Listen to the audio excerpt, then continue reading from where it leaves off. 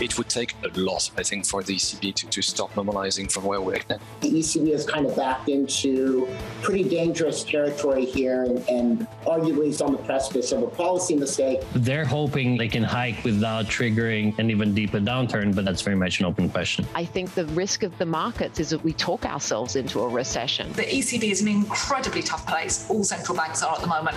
This is Bloomberg Surveillance with Tom Keene, Jonathan Ferro, and Lisa Abramowicz. Live from New York City for our audience worldwide. Good morning, good morning. This is Bloomberg Surveillance on TV and radio. Alongside Tom Keene, I'm Jonathan Ferro. Together this Friday with Kailey Leinz. Bramo back on Monday. TK Futures down a third of 1% on the S&P. It's the end of forward guidance. It's the end of forward guidance. We can talk about that and launch forward next week to a very important Fed meeting.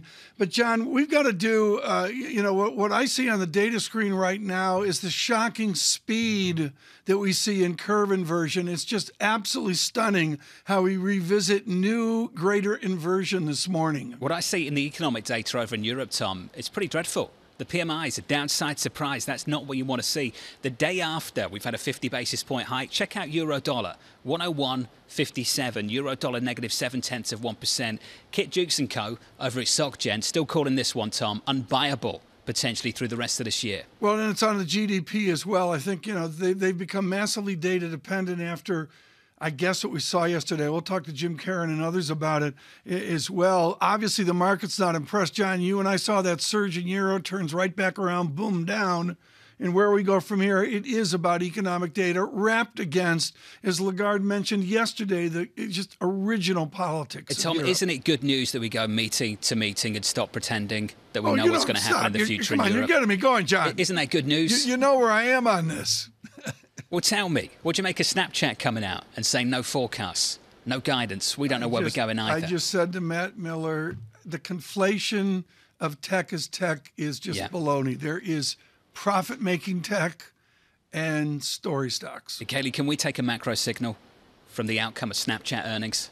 You might be able to, in that what they're talking about here is advertisers pulling back on spending because the macroeconomic environment is deteriorating. They are falling victim to that in a big way. But are they going to be a bellwether for Twitter later this morning, for Meta, for Alphabet, huge mega cap stocks? That report next week. And also, I thought was interesting in those Snap results, they're slowing hiring. How many times have we heard that over the last couple of weeks, John? Microsoft killing job openings. Kailey, I have to say, though, isn't that the goal?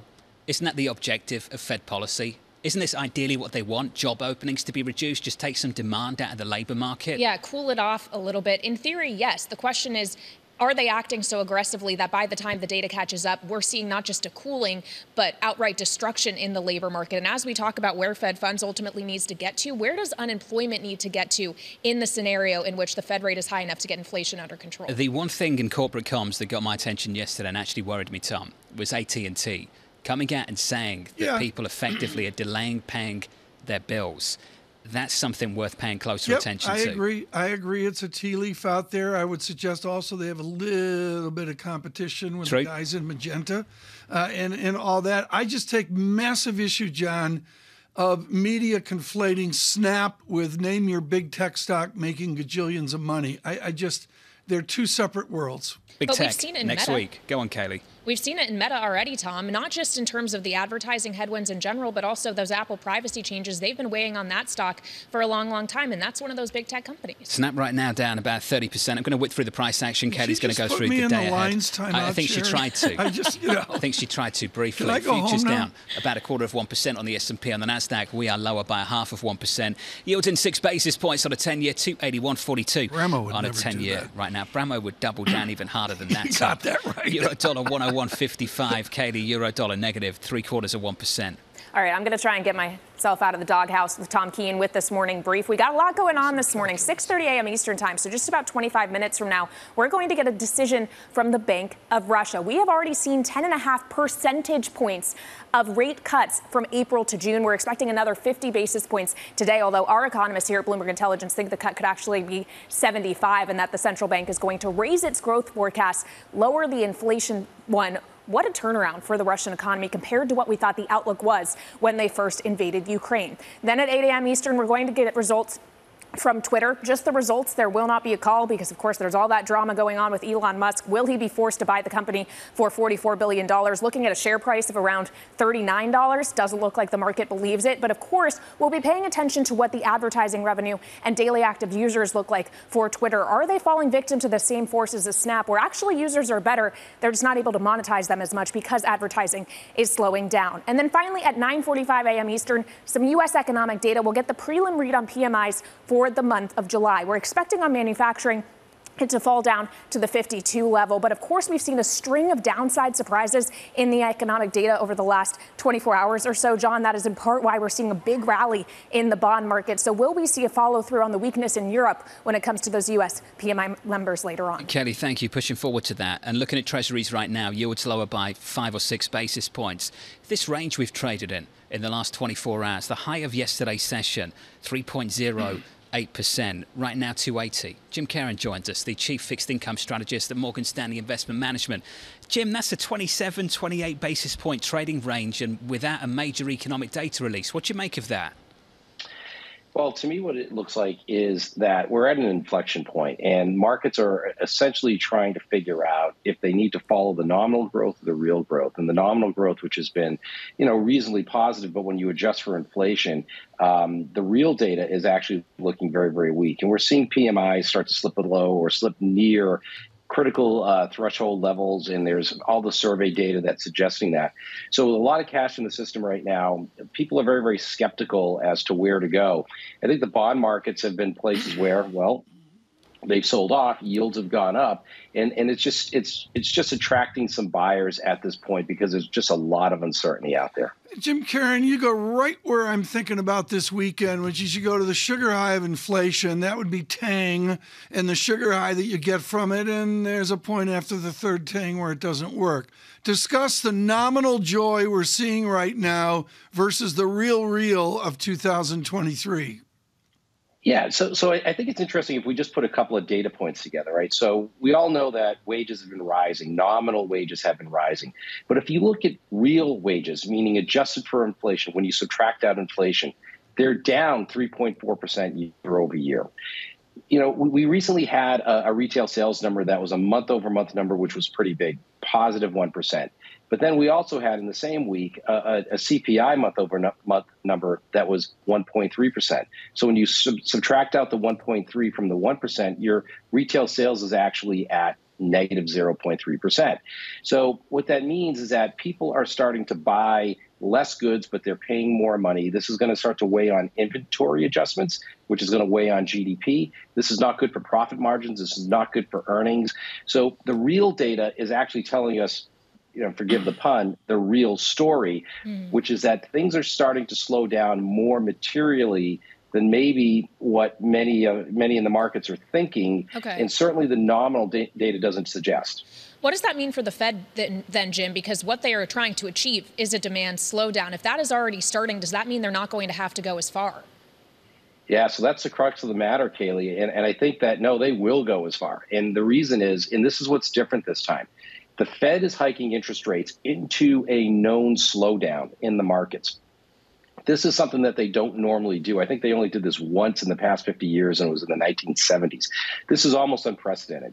So the Fed sees this as an inflation problem. The Fed sees that they have to bring down inflation at, at, at, this at this stage, and I think fully they're willing to go 75 basis points in in July, possibly you know 50 to 75 in um, in September, and they're going to keep going up to, in my view, up to about 3.75 percent, or maybe even a little bit higher by early next year. So, despite the fact that we are slowing, are we slowing enough to actually get inflation to where they want it to be?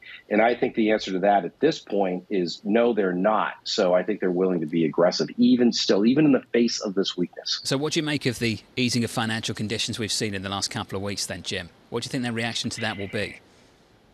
So, you know, I, am a little bit uh, mixed on this one because I think people are very happy about the fact that, oh, maybe interest rates have stopped going up. Look at what's going on along the yield curve. Tom was just talking about that.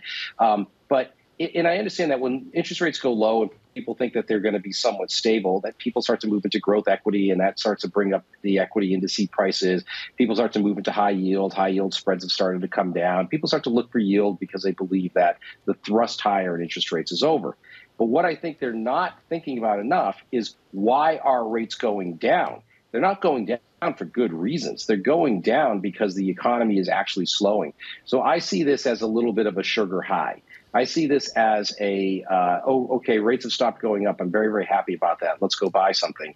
But oh why are rates going down for not very good reasons? Maybe I should rethink this. So I'm a little bit skeptical on this rally at, at this point for those reasons. Jim, let me squeeze this one in. After the news conference finished yesterday with President Lagarde, what did you and your team say to each other? Just the first words that left your mouth. What were you thinking?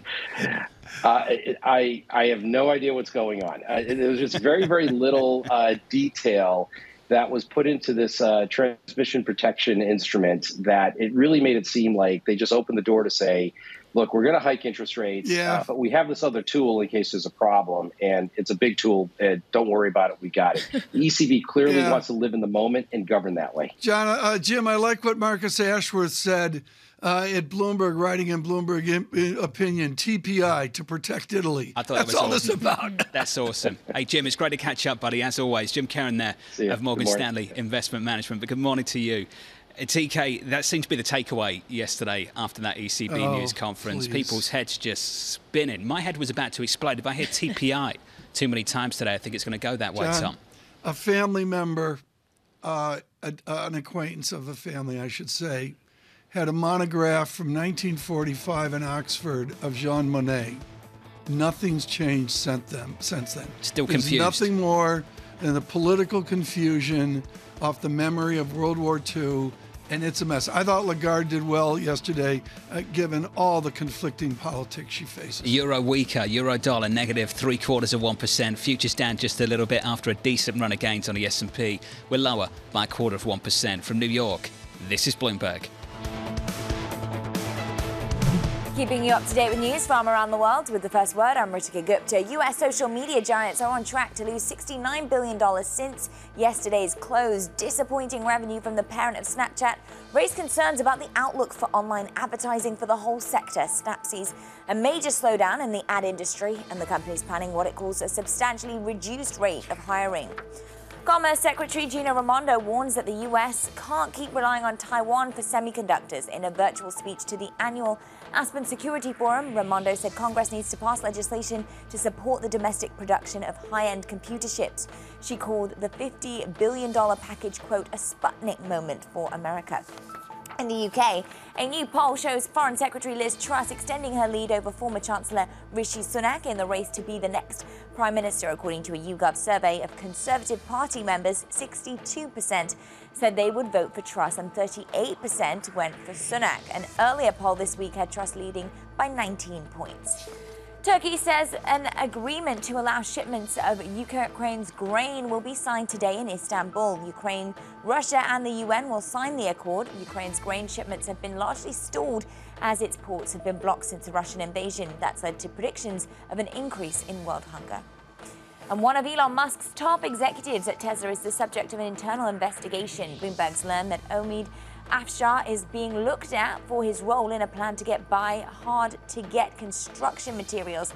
He's the executive who runs the company's Texas factory. Tesla has already fired some employees in connection with the matter. Meanwhile, terms of Afshar's departure are being worked out. Global News 24 hours a day on air and on Bloomberg Quick Take, powered by more than 2,700 journalists and analysts in more than 120 countries. I'm Ritika Gupta. This is Bloomberg.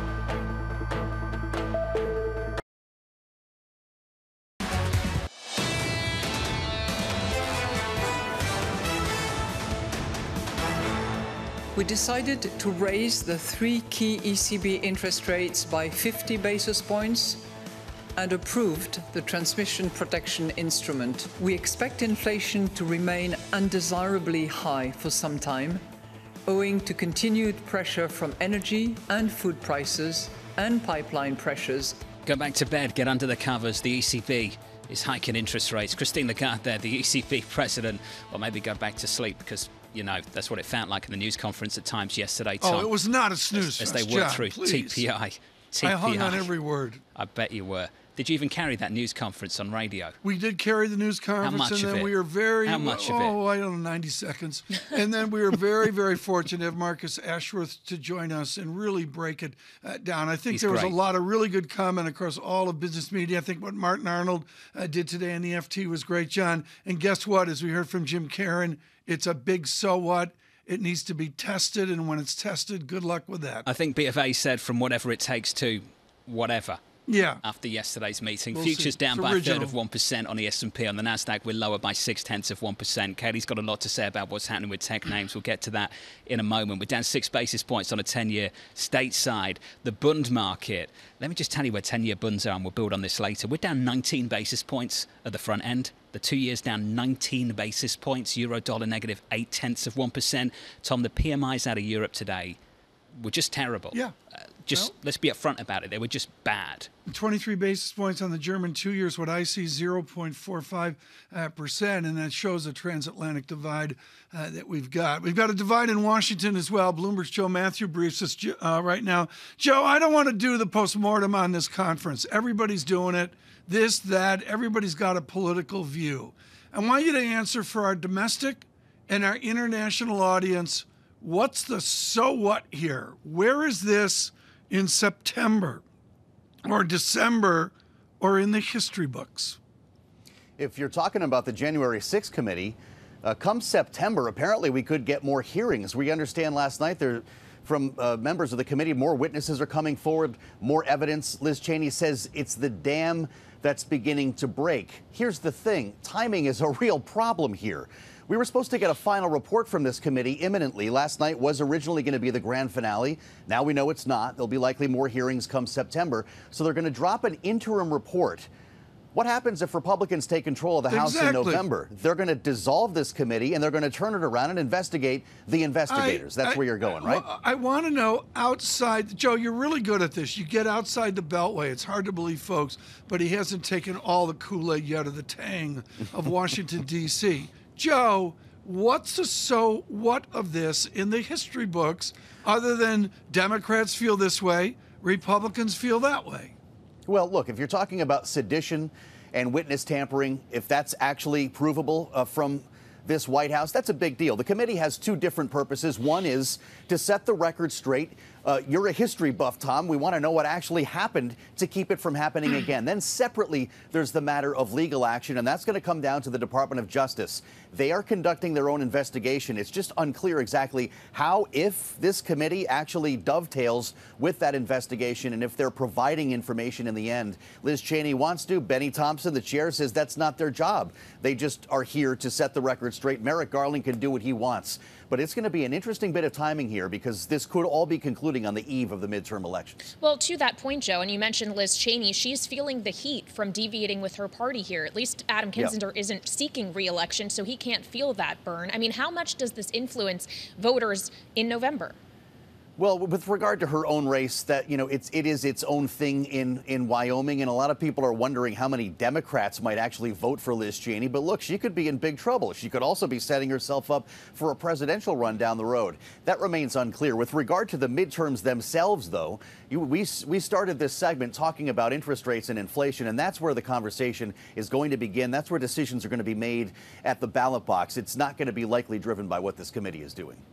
All right, Joe. Obviously, the other news that hit the wires yesterday was that President Biden has tested positive for COVID 19. I remember when Yeah. President Trump tested positive in October of 2020. That was a completely different moment in the pandemic, completely different in the news cycle. It was all we could talk about for days because we didn't have advanced vaccinations or treatments yet. That's right. It doesn't really seem like anybody's paying that much attention. He's doing fine.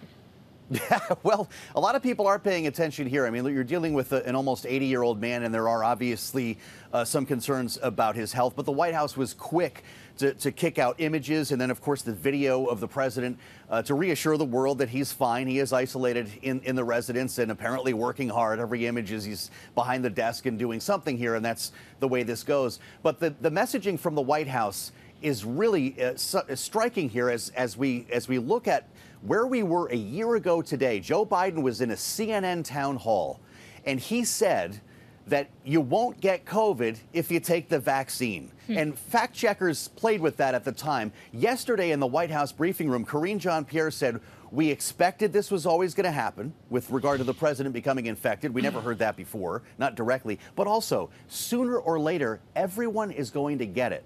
That's the first time I've heard that from a White House official, certainly in this administration that was partially elected to beat COVID. Joe, we'll catch up with you in the next hour for sure. Bloomberg's Joe Matthew down in Washington, D.C. Tom, if there was a sign of progress around this pandemic, wasn't it this in the last 24 hours, to Kelly's Yeah, point, the way it was treated? You know, Lauren Sauer is going to join us here, but I just think it's really, really bad medicine. If you get vaccinated, that does not diminish the opportunity to enjoy COVID. What it means is when you get sick, you get much less sick, particularly with the double uh, boosters. John, what I note there is, you know, the president gets COVID and everybody goes nuts. I got COVID. I didn't even hear from you. I got nothing. Yes, you did. I, I mean, don't, don't say that. Yes, you did. you know, Every single s- day. okay, you sent me a I- fruit I, called you basket. Other than multiple times a day to check in on you. Please. Don't even start.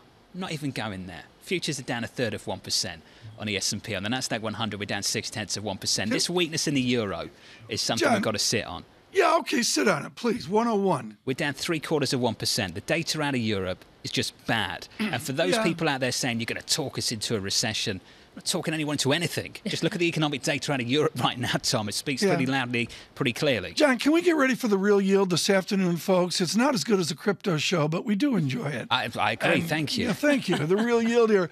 I just want a victory lap for Priya Misra. We hit zero, negative 0.25, 25 basis points of inversion at about 4 a.m. this morning. John, eh, this is the banner. Folks on radio, the banner says halfway to Priya Misra.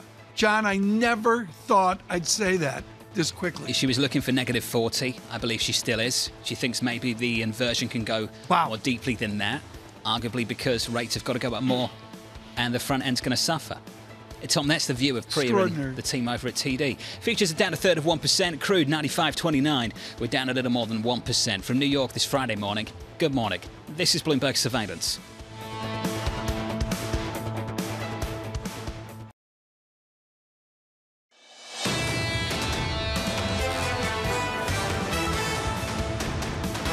Three-day rally on the S&P 500, actually a decent winning streak. You tally it up, we're up big time. On the week by about 3.5%. Futures right now down by about a third of 1%.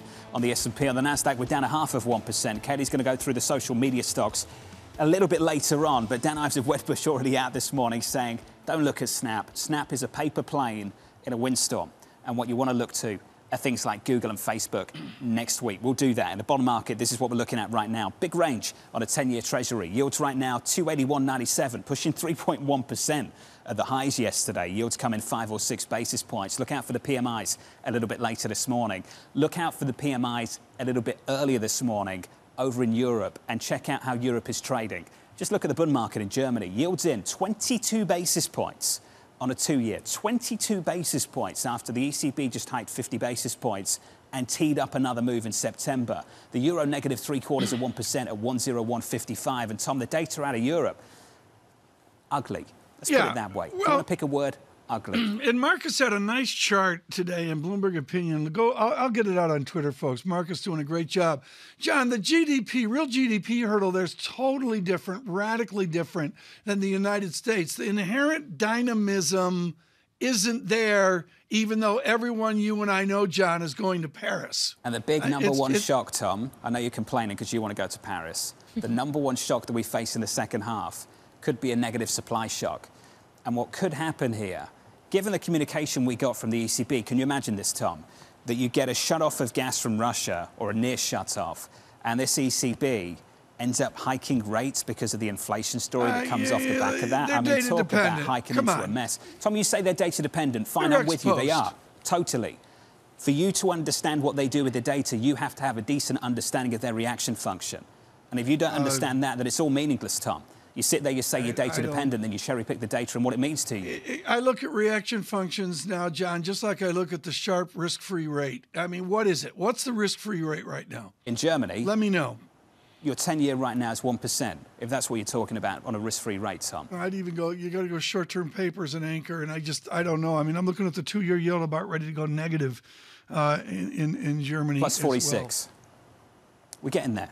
Are you done or what? You keep bringing new stuff up, so I keep giving you numbers. Okay, give me some numbers. Continue. What more do you want? I want. What do I want? I'd like a ticket so I can watch the real yield this afternoon. You can on come the and side anchor of the the show if you like. folks. You got to see this at the real yield. They've got chairs lined up like three rows deep. There's a gallery. It's like you know, it's a Foo Fighters concert. There's a gallery. and they got the gallery thing going, and everybody wears the ticket. You know, the real yield ticket, and they take it home and.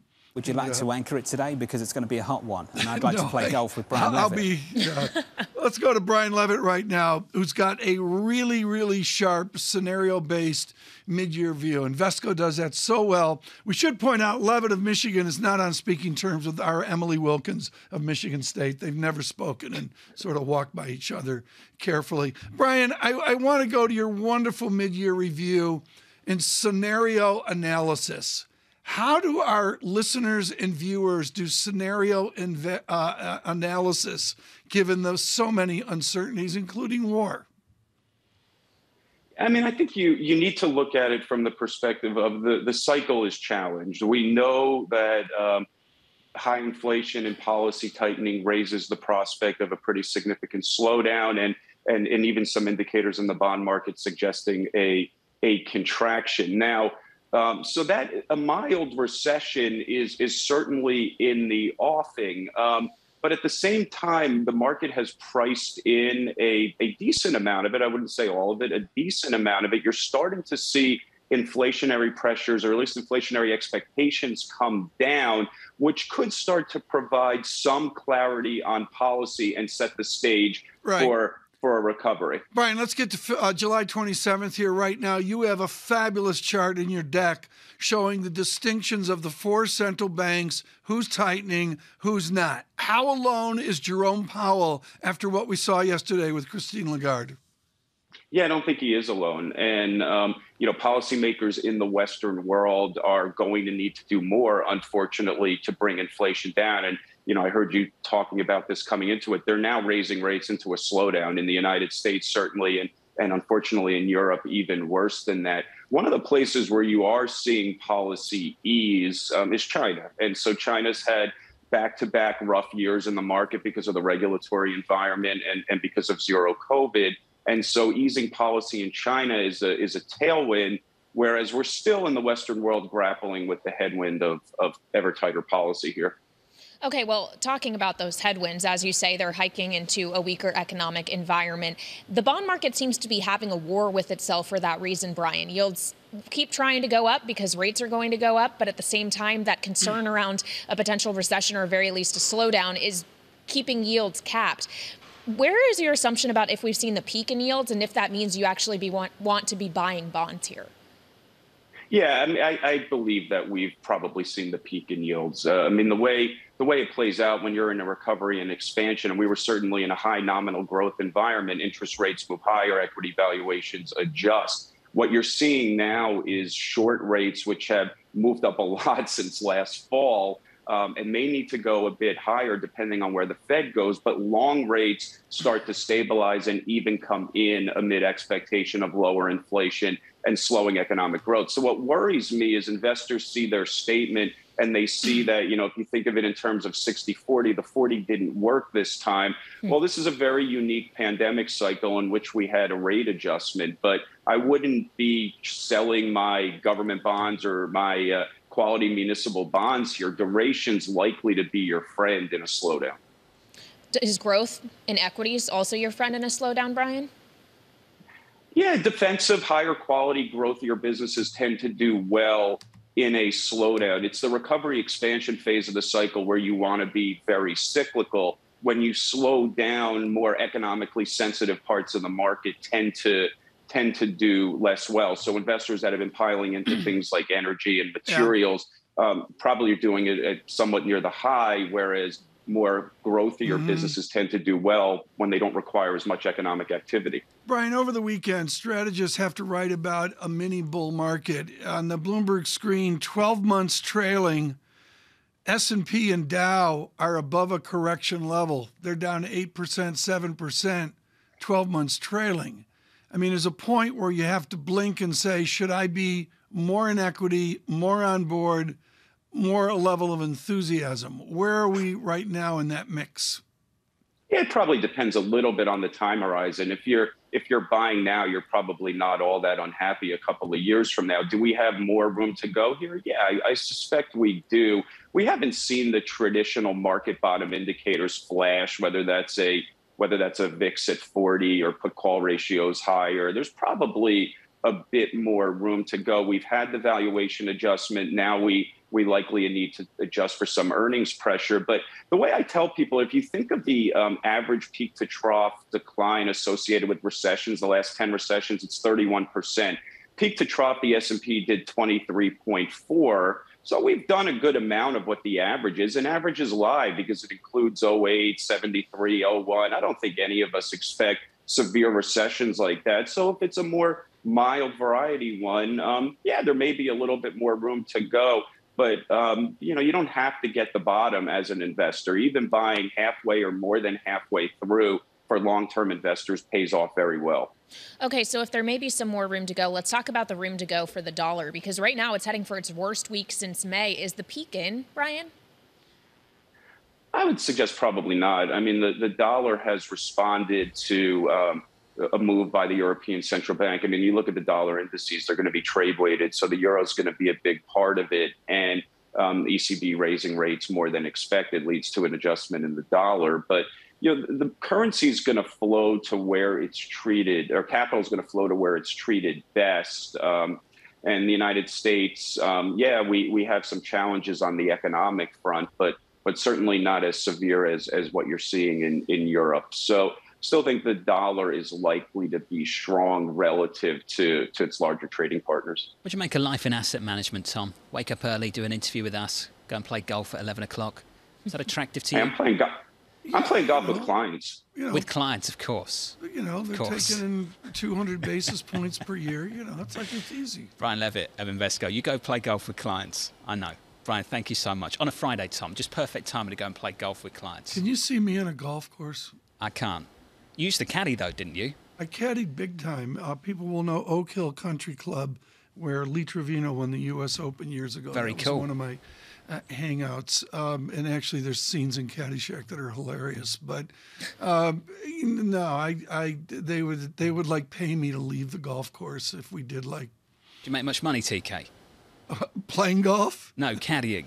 Yeah, I did because I could keep it from Nelson Rockefeller. It was great. It was all cash, and good for you. I was rich. It was. I, I, was. It was in my youth. It was many years ago. Ago. John, can we talk airfares? Uh, you know, you of talk course about we can. By all supply means, and demand. pick. Everybody's Spin the wheel. living this. It's absolutely crazy. I heard from Bramo. She's on her way back. It's it's been, I guess, really interesting. Qatar Airlines from Kathmandu round trip business class. Sure. It's the only way Bramo goes. Is cheaper than New York to Paris. I find that just this is business that just class, says everything right? about demand. This is business class. Yeah. What do you think? It's Bramo. What do you? No, you I'm know? just I'm just asking to make sure because you didn't specify. Tom, this raises an important question about the back half of this year. This summer they've been able to charge what they want and people have been buying the tickets. I get that. We've been asking the I- I question as to whether they can repeat the act later this year. And I see him coming down a little bit. I had to buy a, s- I had to buy a soiree to British Columbia yesterday that was uh, not for me, thank you, but that was actually on the edge of reasonable. Thank you. Oh, really? It came down a bit. Yeah, I'm fine. Air Kirby. You know, it's, what can I say? What's what's that? Air United. Kirby is United Airlines. Okay, yeah. Scott. Air Scott's airline. They've been good. I'm with you. They've been, you know, I got to admit. Are we naming the airlines after the CEOs now? yeah, I, John, I called him up yesterday. You know, I got him in two hours. I thought that was pretty That's good. not bad. You just stayed Thank on hold. you. Futures down two tenths on the S and P. Honestly, getting in touch with Scott, these call come on, we got to talk. Sort it out. It's ridiculous. About my luggage in Des Moines. Yields down six basis points on a 10 year, 281.97. This is Bloomberg. Keeping you up to date with news from around the world with the first word, I'm Ritika Gupta. Trump insiders told the January 6 committee the former president ignored pleas to call off the mob storming the U.S. Capitol. The panel held a televised primetime hearing Thursday night. Members cast the former president's inaction as a desperate final ploy in his struggle to hold on to the presidency. And the White House is confident that President Biden will avoid the worst of the coronavirus thanks to vaccines and a therapeutic drug. The president is experiencing mild symptoms and has begun taking Pfizer's Paxlovid. He will isolate at the White House whilst continuing his duties. In New York State, the Republican candidate for governor was attacked at a campaign event. Officials say a man with a pointed weapon tried to drag Congressman Lee Zeldin to the ground before being subdued. No one was hurt. The attack took place outside the city of Rochester. And in Italy, an election will be held September 25th. In the wake of the resignation of Prime Minister Mario Draghi, President Sergio Mattarella dissolved parliament and officially called for the vote. Following Draghi's move, a centre right coalition is currently leading in the polls. And Turkey says an agreement to allow shipments of Ukraine's grain will be signed today in Istanbul. Ukraine, Russia, and the UN will sign the accord. Ukraine's grain shipments have been largely stalled as its ports have been blocked since the Russian invasion. That's led to predictions of an increase in world hunger. Amazon has started delivering packages to U.S. customers using the first of up to 100,000 electric vans it ordered from Rivian. The vehicle rollout began Thursday in seven cities across the U.S. Amazon hopes to have the Rivian vans deployed in more than 100 cities by the end of the year. Global News 24 hours a day on air and on Bloomberg Quick Take, powered by more than 2,700 journalists and analysts in more than 120 countries. I'm Ritika Gupta. This is Bloomberg.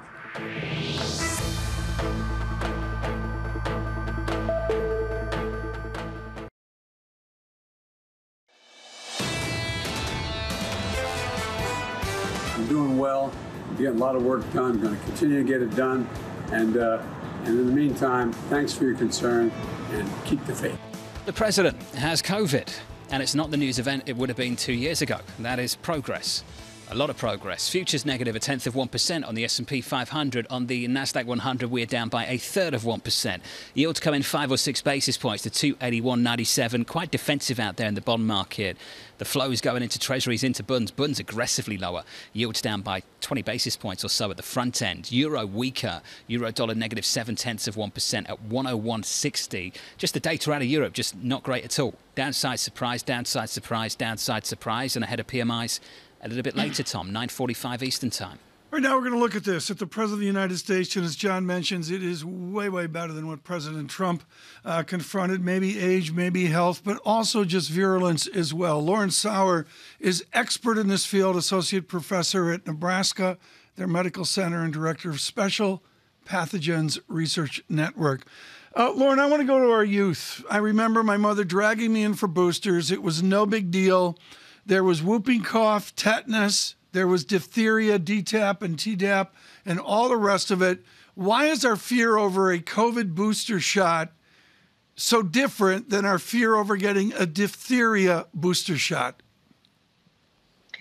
To be honest, Tom, I think a lot of it is politics and the conversation around how the vaccine was developed. I think it's rare that we see the development of a vaccine play out in the public like this one has, where we're seeing every minutia of the stepwise path and where people are paying such close attention to the data that aren't scientists, that aren't clinicians, and they're sending out interpretations into social media or into the news media that might not be quite accurate um, or might be developing. And so I think changing the conversation about how vaccines are made and why we use them is really important. And bringing the trust back to the process, explaining what happened during the COVID vaccine, explaining how these are developed, and getting people back on track with some of those vaccines you just mentioned. A lot of kids are have been delayed in getting their childhood vaccines because of the COVID pandemic. So bringing everyone back up to speed and getting that population healthy again. What would you like to see in terms of action from politicians to get us back to where we don't die from diphtheria in one week like members of my family did in about 1905? I think a huge piece is messaging the process um, and why it's important. So we need to have all of our politicians come out and talk about why vaccines are important for their children. Um, we can't have this vitriol, this dialogue playing out in the public um, sphere, and and recognizing that scientists have a higher level of training clinicians have a higher level of training than you know the average politician on how vaccines work why we use them and so the opinion of an individual in you know, let's just say, for example, a member of Congress is different than a physician researcher who's trained for 20 plus years to develop these vaccines, roll out the trials, um, and understand the data on how they work. Well, Lauren, as we talk about the messaging that vaccines work, what a lot of people see is I'm vaccinated and yet I still have a positive case. And especially as we talk about a new variant now that we're being told evades all immunity, whether you've previously had COVID, whether you're vaccinated, does that just raise the question of getting more boosters into arms? Or is that just essentially saying, look, we have to resign ourselves to the fact that everyone will contract the virus? It's just a matter of how bad it is for them. Yeah, I think it's honestly somewhere in between. I think we had a few missteps on the science side of potentially talking about sterilizing immunity early in the pandemic, especially since we didn't know exactly how the um, data would look. And so expecting people to to change their viewpoint from I'm going to get this vaccine and I won't need a vaccine and I won't get sick to um, the vaccine is protecting you, but it's protecting you from getting really sick and possibly ending up in the hospital or dying. And that conversation is continuing to play out. I, I think one eventually once we get that that vaccine level really high in the population, the mild COVID um, will is what we'll start to see. So people will be vaccinated; they'll mm-hmm. probably get on a regular vaccine schedule, and it'll feel more like the way we we deal with the flu. And to be honest, people get really sick and they die every year from the flu. Um, but research continues on how to make better flu vaccines, yeah. um, how to make universal flu vaccines, and so that we'll probably follow that same path. So, what's the appropriate policy response in a world in which people aren't getting as sick, but they still are getting sick? They could still be contagious. Does that mean masks forever? Does that mean we're going to stick with the policy here at Bloomberg where you're out of the office for at least five days if you test positive? I mean, how do things have to evolve in that scenario? Yeah, I think the first step is that we still have to do a lot of work to get our vaccination rate up. So, um, reminding people that that they even if they have gotten vaccinated, that they need to get those boosters, uh, pushing the federal government to bring that fourth dose to people, um, continuing to do the studies on how we can get into that vaccine cadence and what's most appropriate. Right. And then I think as we grow that natural immunity in the population or that vaccine immunity, we'll see less right. and less of the masks. But for now, the cases are still quite high. And, and I think right. masking, especially indoors, is quite appropriate. Lauren, are we completely to where this virus is endemic, where it's like it's here, get over it, it's not moving? I think it is here, um, and I do think it is endemic. But we we we're talking about endemic like it's something we just resign ourselves to and accept. When in reality, we have lots of endemic diseases that we fight tooth and nail to give keep, us an example um, at bay. So give- dengue is a great example. Um, of fever is a great example. Maybe not in the United States, we don't talk about them in the same way, um, but but across the world, we fight endemic diseases because they still cause significant morbidity and mortality. And so, um, doing all we can to stop COVID spread and to fight COVID to protect our our people is still really important, um, even if the disease becomes or is endemic. Lauren Sauer, thank you. Wonderful to hear from you as always. It's been a while, and that's good news, I guess, but We've missed you. University of Nebraska Medical Center's Lauren Sauer there. I was just getting lost in a new article out by Mohamed El-Erian out on Bloomberg Opinion, and it is punchy. A long list of what the Federal Reserve needs to do next week to avoid being, quote, remembered by economic historians as having un- unnecessary caused a US recession, having destabilized the global economy still trying to recover from COVID, having worsened inequality, having fueled unsettling financial stability, and having contributed to debt stress in fragile developing countries. Tom, that's the conclusion of Mohammed's piece well, out on Bloomberg Opinion this morning. You know, there's some things I can push against there. It's sort of like the New York Jets. You got to find your evil.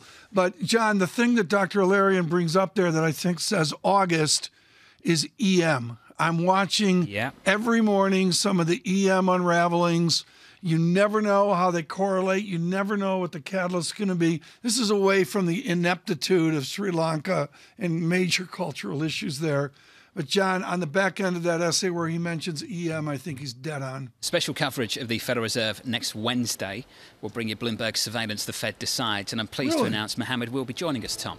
I didn't know. Caught up with him yesterday. That has been confirmed. Good. So look out for Mohammed on Wednesday after. Do I get to ask him a the question? Fed decision. You can talk if you're polite. Okay, thank you. That's how these things work, Tom.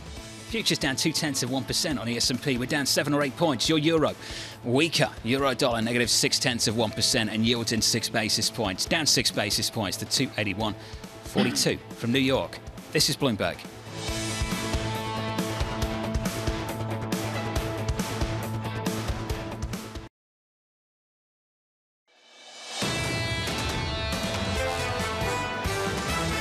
It would take a lot, I think, for the ECB to, to stop normalizing from where we're at now. The ECB has kind of backed into pretty dangerous territory here and, and arguably is on the precipice of a policy mistake. They're hoping they can hike without triggering an even deeper downturn, but that's very much an open question. I think the risk of the markets is that we talk ourselves into a recession. The ECB is an incredibly tough place. All central banks are at the moment. This is Bloomberg Surveillance with Tom Keene, Jonathan Ferro, and Lisa Abramowicz.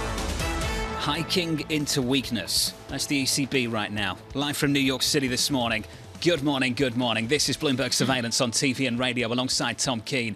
I'm Jonathan Ferro together with Kailey Leinz. Bramo back next week. Futures negative a quarter of 1% on the S&P TK. What a messy time for global markets. Messy time. A lot of news flow coming out here on a Friday. We're supposed to slide into the weekend. Uh, we are not. John, you mentioned German yields there as a vote on European confidence. I really wonder how that comes over to what we're going to see next week. Yields down 20 basis points there and thereabouts earlier this morning, Tom, off the back of data in Germany and across Europe, which is just not great. It's not terrific. In fact, I'd describe it as pretty poor.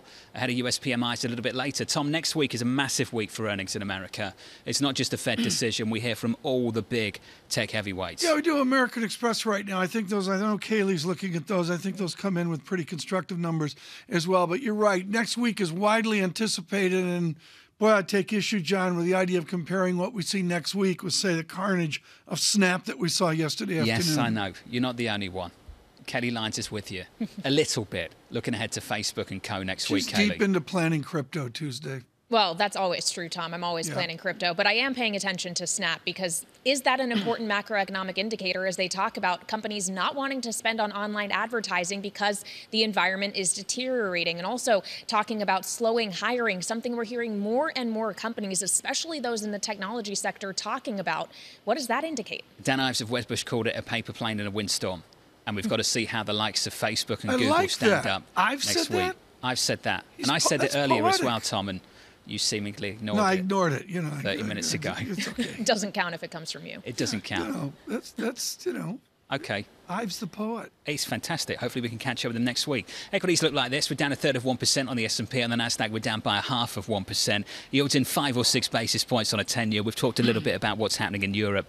Not great things. If you're not paying much attention, that's your summary. Euro dollar negative six tenths of 1%, 101.66, and crude down 1.5%. Kailey to 94.91. Yeah, the unwinding of a lot of the price pressure in the commodities complex definitely something to keep an eye on because, in theory, that reduces some of that headline inflation pressure that we know the Federal Reserve and other central banks are responding to. Speaking of central bank responses, we got a rate cut from the Bank of Russia about an hour and a half ago, or 30 minutes ago. It's Friday need to take a break there. But what we actually saw was them cutting rates down to 8%. Economists were expecting them to only cut to 9%. So we saw 150 basis points when we were expecting 50. That brings the cumulative total of rate cuts to 12 percentage points since April. They also said growth isn't going to be down as much this year and inflation isn't going to be up as much. A very different economic outlook than we thought back in February. And we'll be hearing from the Bank of Russia Governor uh, Elvira Nabiullina at 8 a.m. New York time. Also at 8 a.m. New York time, we're going to be getting results from Twitter. We were just talking about those advertising headwinds. How much is that weighing on this company as well? And of course, there won't be a conference call because they're still in the battle with a legal, uh, a legal battle with Elon Musk about that $44 billion takeover. So we'll get the release.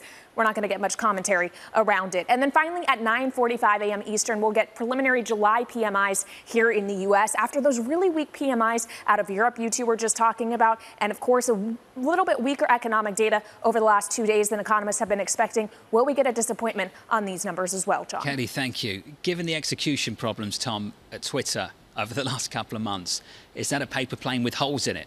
In a windstorm I- right now. I mean, come complete on. mystery here. I'm Can sure you get a Elon real read of what's happening in. there? No, I don't have a read on that. But what I'm looking at, John, is an absolute confirmation of a travel boom as witnessed through American Express. These are mm-hmm. extraordinary numbers with new guidance. Forget about the numbers, John. The real mystery is what does this travel boom do into the end of the year? To me, that's one of the great mysteries into Q3, Q4. They see full year revenue up 23 to 25%. They'd previously seen 18 to 20%. The latest from Amex. We'll get you more on that a little bit later this morning. Here's a quote for you. We are at the crossroads between the end of the commodity run and the beginning of the bond market road to recovery. That quote comes from Emily Rowland and the co-chief investment strategist at John Hancock Investment Management joins us right now. Emily, what do you mean by the bond market road to recovery? Yeah, clearly, John, we're seeing signs that global economic growth is decelerating at a pretty rapid clip here. Uh, evidence of that over the past few days with economic data. Uh, in the U.S., initial claims rising. We saw the Philly Fed just plunging. We're seeing the leading economic indicators barely hanging on at, at 1% year over year growth. And now, of course, this PMI data in Europe confirming that Europe is likely in a recession or very close to one. So we see this broad environment where economic growth is slowing. Now, usually in a late cycle period heading into a recession, bond yields fall. But bond yields have been, as we know, seeing this massive backup over the course of 2022. We think now is the time to lean into high quality bonds. One hashtag we've been playing around with is buy bonds and chill. You're getting three to five percent in high quality bonds across munis, mortgage backed securities, treasuries, mm-hmm. investment grade corporates. We would take it right now. Emily, what is the character of this equity bull market of the last six weeks? Yes, we've seen a couple narratives building that are driving this. I think certainly the breather that the dollar's taking. We all know that a stronger dollar can crimp corporate profits. The dollar coming back a little bit. There's also a narrative building that we've reached, you know, maximum capitulation here, meaning that any seller that's gotten that wants to get out has gotten out. And we, we would be really careful with their, that narrative. There's a few kind of things that usually happen when you can call, start to call for a more durable bottom high yield bond spreads. We're at 489 basis points right now. They've got to blow out a lot more. Earnings estimates, yes, they're plateauing. Yes, they're leveling off. We want to look for those to actually roll over. And then finally, we have to actually have the recession. You know, there's a lot of markets that are pricing in a recession, but we still have unemployment at 3.6%. You know, we still have consumer spending pretty elevated here. We have to experience the recession before we can call for a more durable bottom. So we would be careful here about leaning into this rally. Okay, Emily, just on the subject of earnings, because obviously it's a big week for those next week. The bulk of the market cap of the S&P 500 will be reporting. Is what you're saying that there is still too much optimism out there on corporate profits? Yeah, when we look at estimates for 2022 earnings growth, they're still at just over 10%. And we think that that's likely uh, overly optimistic. We're looking for low single digit growth here. Not terrible. You know, the bar is pretty low. There's a lot of pessimism around earnings. But what companies are doing right now is they're finding every lever they can in order to generate cash flow. So we do see this deceleration in economic growth starting to hurt corporate earnings. Look, the tightening that the Fed has put into the system still needs to be felt uh, by corporations, and, and we still think that there's some room to go there. We do think, though, that leaning into higher quality companies, ones with great cash flow, good return on equity, lots of cash on their balance sheet, that is what you want to do in a late cycle period. And frankly, quality has gotten crushed this year. I don't really understand why. We're starting to see a rotation into it. That's where we would lean into for the back half of the year. Emily, one final question from me.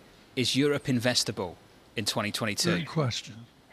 Yeah, I think you've got to be real, real careful there. You know, growth clearly slowing, earnings estimates are rolling over. We think getting very defensive in Europe, owning quality, embracing areas like utilities, infrastructure, healthcare, staying away because from an index construction standpoint, if you own Europe, you own cyclicality, you own economic sensitivity, not what you want to own in a recession. Emily Rowland of John Hancock. Emily, thank you.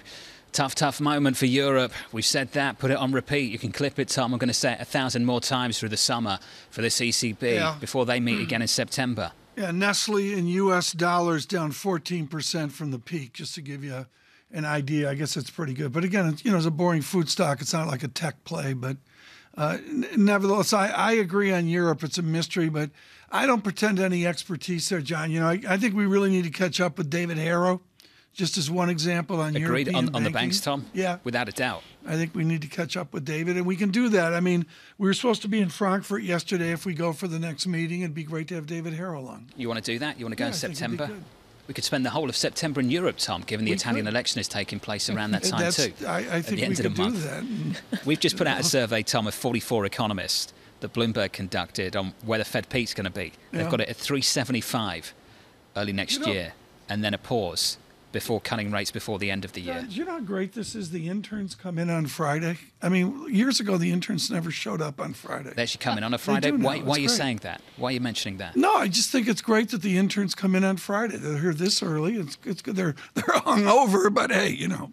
Is there a reason you mentioned that in response to what I just said about Fed funds peaking at No, I just I just 375? I'm, I'm so- sorry, John. Just ignore it, Once again, I wasn't paying attention. Okay, thank you. That means a lot, Tom. Thank Let's go you. through the price action. Please, I'll let's speak to save ourselves with a data All right, check. Kailey and I just have a chat. Okay. Futures down by a third of 1%. I'll Let's call it tang that. break. On the S&P, it sounds like you've had a few tanks already. On the Nasdaq, we're down about a half of 1%. Yields in five or six basis points. Kailey, if you wake up this morning and you wanted to be pointing towards one piece of price action, I wouldn't say snap. I'd say look to German bunds. Mm. Look to the German bund market. And what is that telling you right now? It's telling you that the ECB just hiked 50 basis points and got to zero at a time of a very dire economic outlook for Europe. The PMI's contraction territory on the composite in Germany, manufacturing and services are there. And it's not just when it comes to bunds. BTP yields down 19 basis points Yes. on the 10 year right now. Down 20 basis points on a two-year bund. On a 10-year, we're down 16 or 17.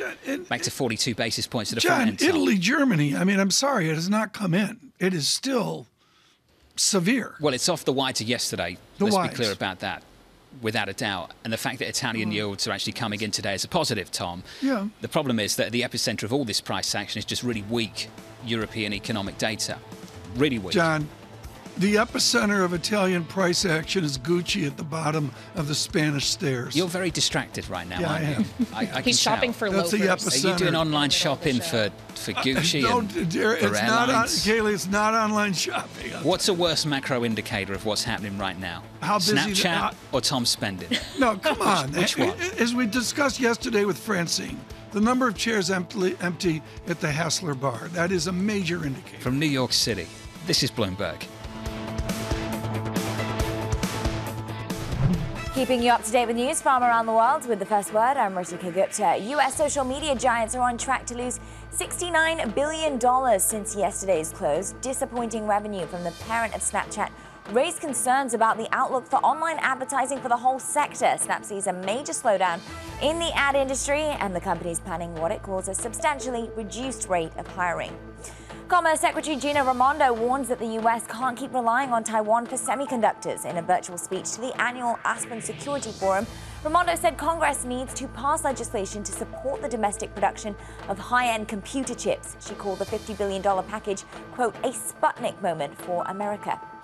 And there is another sign that a recession may be on the horizon in the euro area. Private sector activity in the region unexpectedly shrank this month for the first time since the pandemic lockdowns of early 2021. A survey of purchasing managers by S&P Global dropped to a 17-month low. Manufacturing output fell and service sector growth almost stalled.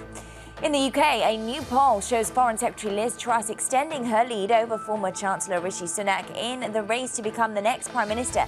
According to a YouGov survey of Conservative Party members, 62% said they would vote for Truss and 38% went for Sunak. An earlier poll this week had Truss leading by 19 points.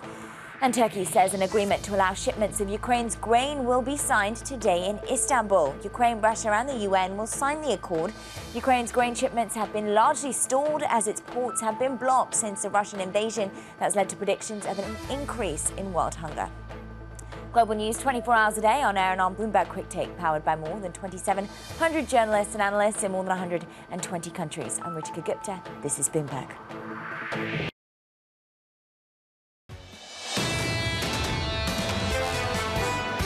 I think that it's important for us to show support uh, for Taiwan. I also think that we have, none of us has ever said we're for independence when it comes to Taiwan. That's up to Taiwan to decide. That was Nancy Pelosi, the US Speaker of the House there from New York City this morning. Good morning. Futures are negative, a third of 1% on the S&P on the Nasdaq. We're down by a half of 1%. This from Mohamed El-Erian this morning on the Fed. It seems to remain the central bank in advanced econ- economies that is most prone to, using a phrase from the former Chancellor of the Exchequer, Rishi Sunak, fairy tale economics. And it is the most systemically important of all these central banks. Mohammed, fiery this morning, Tom, going into the Fed next week. Yeah, it's an important essay, and it's something we'll uh, play off of here not only today, but through the weekend and into next week as well. I think, uh, uh, John, we really have to set up uh, the Fed meeting next week. It, it, I, I, have to admit, it's a different meeting now after the desperation we saw from the ECB yesterday. 75 basis points seems to be the story, yeah, Tom. Yeah, but you know what? Maybe we wake that. up on Monday to another article that tells us it's 50 or 100. I've got no idea. Uh, that's a parlor game. I'm not I'm bitter more about it interested at in all, the am I? messaging. Yeah, well, I'm I, I'm looking at German yield right now. Hey, Tom, finally, thank you. And you, are getting on board this morning. Well, no, I you know I don't want to you go logged that in. He executed his online shopping Took him, purchase. and- Kailey. It took an hour and 20 minutes for Tom to log into the terminal and have a look at where bunds were. Yeah, but the I've- problem I've with said that, it John, five is it, times this John, morning. I didn't darken the door till 5:54, so that was the real problem there. Uh, this is a personal note, and it has to do with the courage of Lee Zeldin, who is a Republican candidate for governor of New York. Where he was accosted yesterday in New York, in Western New York, I have a major, major acquaintance with. We used to measure the size of a Genny Cream Ale by the size of the beverage at whichever bar we were showing our illegal driver's license to. And the best place in Fairport, New York was the VFW. And we would literally say, let's go have a VFW, and fancy brats like me would hang out with the middle class of Fairport, New York, this along the Erie Canal. Joe Mathieu joins us now on the summer of discontent for our middle class. Joe, I don't even know the details of the attack on uh, the candidate for Republican governor in New York. He is safe. That is fine. But what we do have is a summer of middle class discontent. How does Washington play that? Well, I'll tell you, Adam Kinzinger, I guess, was correct when he said that there is more violence coming. This is a terrifying moment here, and I'm glad you brought it up, Tom. It's not getting enough attention. This guy tried to stab uh, Mr. Zeldin on stage, and uh, Zeldin took care of himself. He managed to grab the guy's wrist before people could actually uh, jump on him, and he is all right. But is this the new world that we're living in here? When, my goodness, after what we saw with uh, Shinzo Abe following January 6th, right? This is this is not a business for the faint of heart. And based on what we're seeing here in the January 6th committee, uh, there are a lot of things that you Right. might not want to know that happened that day. Joe, partition how the Democrats and the Republicans each have a different middle class. What is that distinction between Speaker Pelosi's middle class and President, former President Trump's middle class? Well, it's interesting. Uh, it's a great question. It drives the conversation in two different ways. Uh, the Democratic middle class, at least through the eyes of Speaker Pelosi, and by the way, Joe Biden, who talks about, you know, when he was growing up and his dad was said the middle class just needs a little bit of breathing room. We hear that refrain a lot. They think that the progressive Build Back Better agenda is, in fact, what's needed here: child tax credits and so forth. That that they're not getting lower prescription drug prices. The the Republican middle class says no. Uh, in many cases, let's bring back Donald Trump and get back to growth here, get back to tax cuts.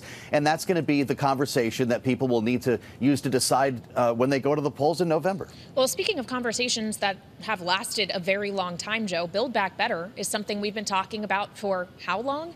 Where As are long as we've known even- each other, Kailey. Does it even exist anymore? I mean, it just seems like little fragments of what the initial legislation was intended to be. Well, that's true. It's going to be a shadow of, uh, well, I won't say its former self because it never really existed. Uh, the, the massive uh, $2 trillion plan that, that never got through Congress late last year is, is going to be much smaller. And, and based on what we're hearing from Joe Manchin, will be, will be very deliberate. The prescription drug component will be in there. And also, I've said this before, keep an eye out. No one is talking about it for expanded subsidies, enhanced subsidies for Obamacare that were put in place during COVID. They expire at the end of the year. Until now, there's been no plan for Democrats to extend them, and they want to use that reconciliation bill, call it Build Back Better Light or whatever you want, as an opportunity to put that in there. Now that we have a president with COVID, by the way, there's still the matter of COVID funding as well. 10 to 20 billion dollars requested over six months ago still has not seen the light of day. We were told by the White House therapeutics would start running out by now, Yeah. and by September, vaccines will start running out if this isn't handled. Well, to that point, Joe, Biden campaigned in part on getting the pandemic under control, That's even right. if it isn't as severe, which is evidenced by the fact that we are treating President Biden's COVID case very differently than we treated President Trump's in October 2020. Is the White House kind of putting that on the back burner? I mean, it doesn't seem like there's any effort toward getting people vaccinated and boosted. The conversation about it largely seems to have just faded into the background. Well, they did take the opportunity yesterday to say, look, the president is not in the hospital because he's fully vaccinated. They did urge people, particularly those over 50, if you don't have the vaccine, go out and get it now. It is extremely important. But the, the why is what's changing. One year ago, in a CNN town hall, President Biden said these vaccines will keep you from getting COVID. Yesterday, it was clear that that was no longer the case. And in fact, people who get vaccines could still be infected. And they said everyone at some point will. It's just that your symptoms will be lower. That's going to be the message from the White House here going forward. It's a lot different than where we were a year ago. Hey, Joe, good to catch up as always, sir. Joe Mathieu there down in DC. We've got to get back to this bond market in Germany. We're down 24 basis points on a two year yield. The attention's here because of what's happened with the economic data out of Germany and the energy issue as well. When the PMIs come out, the dividing line between contraction and expansion is 50. We got sub 50 out of Germany today. The composite at 48. Tom, a 48 handle on the PMI. I, I agree in the in the movement here on a two-year yield from a 0.77 to a 0.43. The word is precipitous. John, I keep saying this, and I felt it yesterday with the, the lengthy uh, ECB conference that we took, and that is there's a war going on, and I think we're all struggling with the fact we're distant from the war. I, I there's we're on war footing in Europe, Yep. and we shouldn't be surprised by these economic shocks. And for that reason, Tom, a lot of this is unforecastable. On top of that, how do you price in a rate hiking cycle with that in mind? You don't. So the euro's weaker and the two-year yield is much lower off the back of this. I mean, we're looking at the biggest one-day drop on a two-year. The headline crossed earlier since 2008.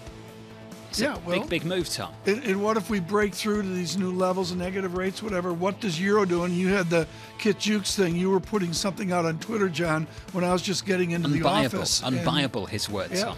yeah, yeah. It's a, Coming up, Thierry Wizman's going to join us from Macquarie on this mess in Europe. From New York, this is Bloomberg.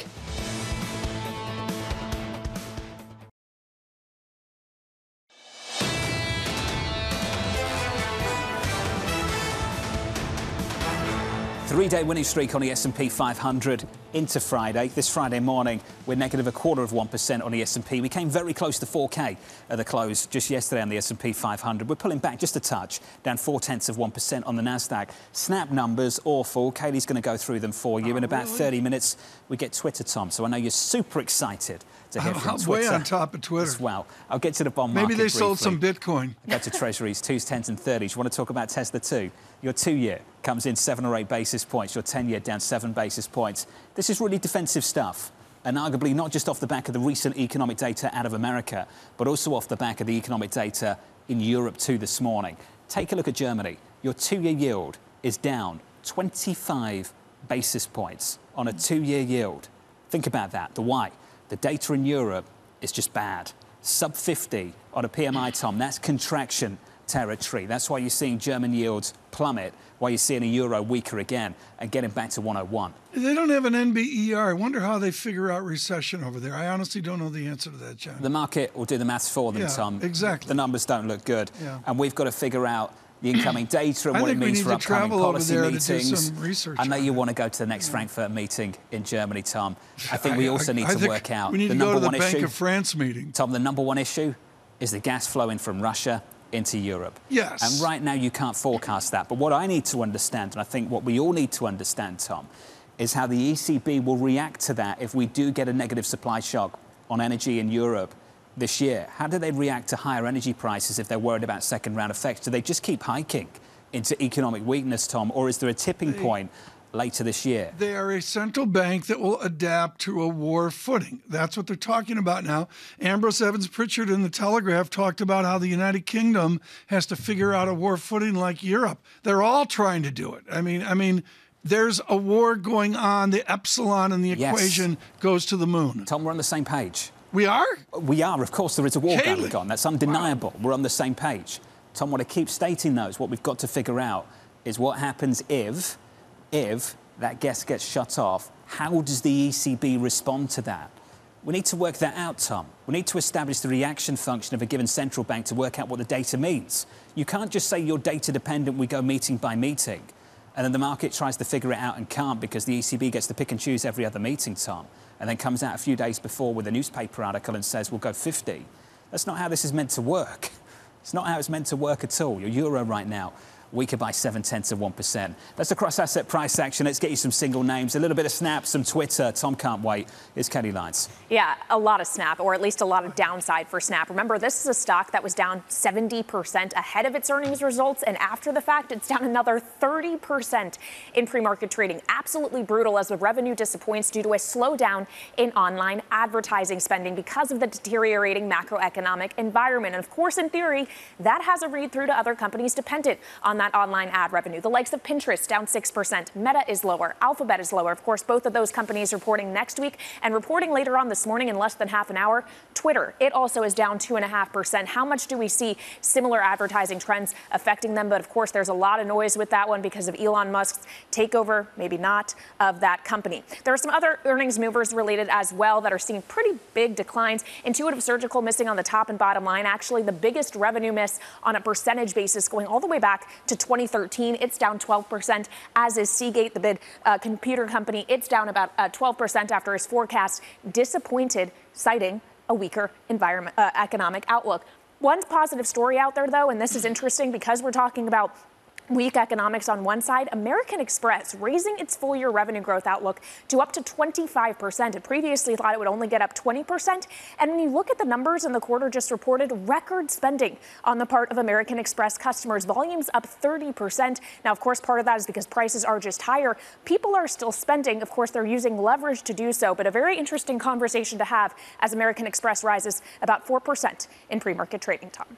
Thank you, Kailey Leinz. Greatly appreciate that. Right now, this is a joy, incredibly well timed. Thierry Wizman joins us, global interest rates and currency strategist at Macquarie. Terry, I know John really wants to focus on Europe, and yes, that is front and center now. But I've got to go back to what you and I did years ago, which is the unraveling of currencies that we see in EMFX, particularly the Pacific Rim, Indonesia, Myanmar, uh, uh, uh, Malaysia, and, and the rest of them. Are we hearkening back to another August of long ago? Look, I, it, uh, the, emerging markets are not really, uh, a, you know, a, a blob, uh, Tom. It's not as if uh, Brazil does, has the same dynamics, let's say, as in Indonesia, as a China. Uh, there's a lot of, of variation in the emerging markets, especially with regard to what they depend on for their terms of trade, where they get funding from. I, I hate to uh, overly generalize about them. I could tell you, however, that you know, with commodity prices now sliding, which is a very different situation that we had in the first quarter of this year when they were generally rising on the back of the, the premise that the war would, would drive commodity prices up or that a recovery would drive commodity prices up. I am concerned about those emerging markets that are overly dependent on commodity prices to support their terms of trade. Uh, Brazil, for example, Colombia, Chile to some extent, and some of the Southeast Asian markets that you mentioned, South Africa as well. But if we're talking about those uh, emerging markets that are not overly dependent on commodities, China, for example, uh, then I'm not too concerned. Um, th- th- we have to make a distinction between this point between those emerging markets that are commodity dependent and those that are not. Terry, let's swing over to Germany. John has been focused here on the collapse that we see in yields today in Germany, economic contraction amid a war. How do you synthesize the uncertainty of a war in Ukraine across the economics and the finance of Europe? I think the gravest concern right now, Tom, is the one uh, you guys were talking about earlier, which is the prospect that we will see rationing in electricity uh, in Europe if we do not get the natural gas flows restarted. Uh, there's another problem in Europe, of course, which is climate resiliency, which is also uh, eating into their uh, reserves of natural gas. We may be facing a situation where in the winter we just don't have enough natural gas, but politicians and policymakers will anticipate that and ration well ahead. In fact, that could start anytime. I think to the extent that the weakness in the P- PMIs was so significant in July, it's because these companies are concerned that they will not have the electricity to produce. And if they don't, what's the point of ordering machinery if you're not going to be able to run them uh, in the next few months? That's the gravest concern. With regard to how the ECB handles that, it's anyone's guess. But I also agree with you that they were too ambiguous uh, in the communications yesterday with respect to what kind of data they're going to be watching. And I think the weakness that we're seeing in the euro this morning has to do a lot with the fact that there's ambiguity with respect to what the ECB is watching. We are clueless as to what their reaction function is. That's absolutely right. That's the problem. And with that in mind, it gets very, very difficult to buy the euro. That's their problem too, because that means weaker inflation. SocGen's Kit Juckes came out this morning and said it was still unbuyable, potentially through the rest of this year. Terry, do you share that view? I, I do. I, I mean, if we're looking for those triggers that are going to cause, that are going to create escape velocity for the euro, we just don't see where they are short of a diplomatic solution to the war, because the war has so much to do with European growth right now, uh, especially through the prospect of electricity rationing and the implications it's going to have on industry. Look, if they ration, they're going to ration industry. They're not going to ration households. That would be a political disaster. Uh, they'll shut down factories. They'll have them running four days a week instead of five. That's the scenario that will, will hang over this market until we get clarity and resolution on the natural gas flows. And that's presumably dependent on a, a resolution to this war. Terry, I tried very hard to listen to every word that Christine Lagarde said in the press conference yesterday, and there were just very few things that I felt were worth transcribing quotes from her. One of them being, We are moving in one go to zero. Does that mean we are changing the terminal rate at which we want to arrive? No. Then a couple seconds later, she goes on to say, What is the neutral setting? At this point in time, I don't know. Terry, do you know? Do we have a real understanding of how high the ECB is actually going to be able to hike rates given everything you've just laid out for us? our own economists think that we could get a terminal rate that's above one sometime in the early part of next year. We're starting to have our doubts, though, right? Uh, the the the reason has to do again with the prospect that if we get electricity rationing in Europe, we're going to see much lower growth in the second half of this year. It's effectively the road to ruin. On top of that, of course, you have uh, stress on on the Italian BTP market coming from uh, too many speculators who think that they should make a run, a speculative attack on, on Italian bonds. Those two things, I think, have the capacity to deter the ECB from going all the way up to one and a quarter, let's say, by the beginning of next year. I think that what uh, Christine Lagarde was trying to say when she invoked the idea that they're data dependent and month to month is exactly that, that they just do not know how they're going to respond to a situation where inflation continues to go up, but you have financial stresses in the credit markets at the same time that you have a collapse in sentiment and the outlook for new orders continues to deteriorate. And Terry, you nailed it. They're data dependent, except they don't know how they're going to respond to the data. That's right. Thierry Wizman of Macquarie, thank you. And Tom, that's the difficulty we've all got with the ECB right now.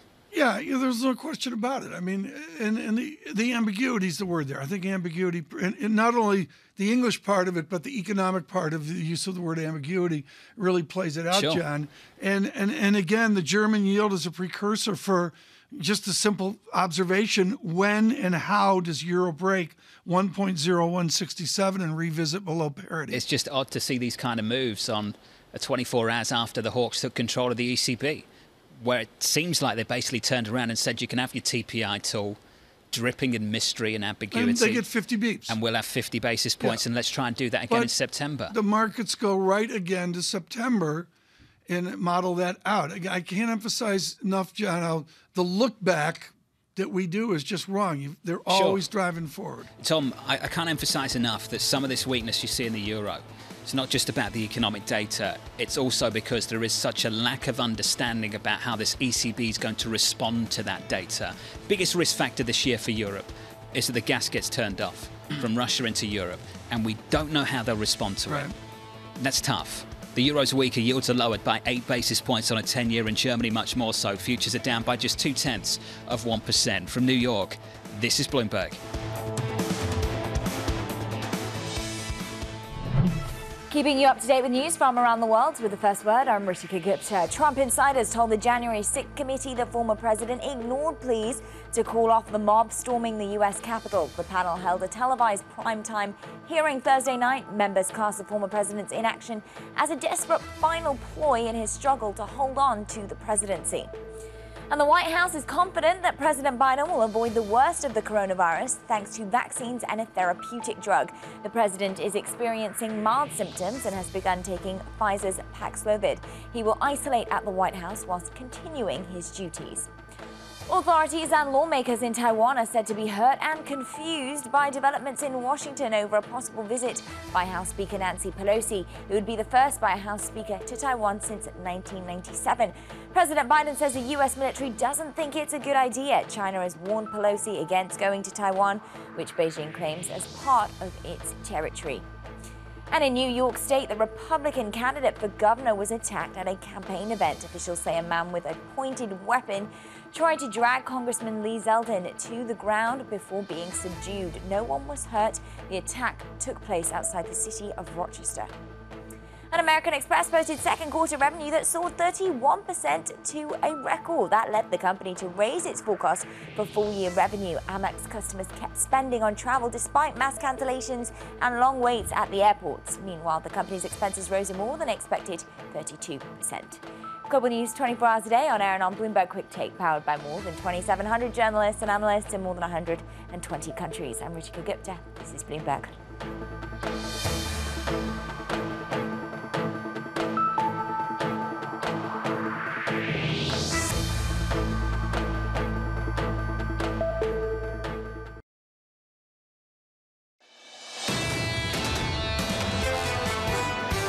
Apparently, there's at least a trickle of uh, gas supply uh, going through Nord Stream 1, but we never know whether or not this is going to be uh, uh, uh, uh this is going to continue for several months. In Europe, basically, the border between stagnation and a proper and a significant recession is whether or not we still have access to Russian gas. It is one of the biggest risk factors into the second half for the European economy. That was Gilles Moëc there, the chief economist at AXA Investment Management from New York this morning. Good morning. Here's your equity market. We're down a tenth of 1% on the S&P, on the Nasdaq 100, down by about a third of 1%. Yields in by 8 basis points now. It's a break at 280 on a 10 year in America, 279.77. And it's a big break lower in German yields off the back of what's happening, Tom, with that economic data. and as Gilles Moëc said, Nord Stream 1 is back online running at well, 40% capacity. Relatively speaking, compared to the news of this week, that's better than expected. But the risk factor is this could come down to 20%, Tom, in the next couple of weeks. Yeah, yen with a big move against euro. I'm going to say euro hasn't broken yet. I'd watch that, John, in the next coming hours. Yeah, down 6 I mean, to 1%, 101.69. Right now in oil, Julian Lee joins us, and of course, this has to do with Germany as well. Oil strategist at Bloomberg. Uh, John Ferro, Julian Lee, particularly is focused on this. As you read into the weekend, what is the distinction in the Nord Stream debate, in the turbine debate, in the pushing of hydrocarbons across great distances debate. What's the distinction you're studying? I, I, think the you know the thing that I'm looking at at the moment is uh, sort of the the levers of uncertainty that that uh, President Putin uh, is wielding, um, and that is um, on again, off again uh, gas supplies through Nord Stream. Uh, will they keep up at this, this current level of 40%? Will they go down again? Um, will he uh, start messing around with, with crude oil exports? We're certainly seeing, you know, crude uh, being shipped much longer distances than it was in the past. Um, but we are seeing, you know, while we're seeing Russian flows going to, to Asia, we are seeing compensating flows coming uh, in the opposite direction as well. Um, and I think the, the, the big thing in, in, with oil at the moment, at least, is uh, weighing up uh, the demand side uncertainties. Uh, COVID um, coming back again in, in China, uh, uncertainty over European economic growth, um, against the supply uncertainties around uh, Russia and uh, will the, the OPEC plus countries agree to uh, further output increases. They meet at the beginning of August. Um, eyes are going to start focusing on that perhaps next week. Julian, just as far as the European gas consumption, is concerned. What's the latest on the voluntary demand cuts that were floated early this week? Well, I mean, they're, they're, st- they're still out there. Um, there's clearly a need for this. I mean, whatever happens with, with Russian gas flows, um, Europe is going to have to get its, its gas consumption down, and I think that's going to be the UK as much as continental Europe.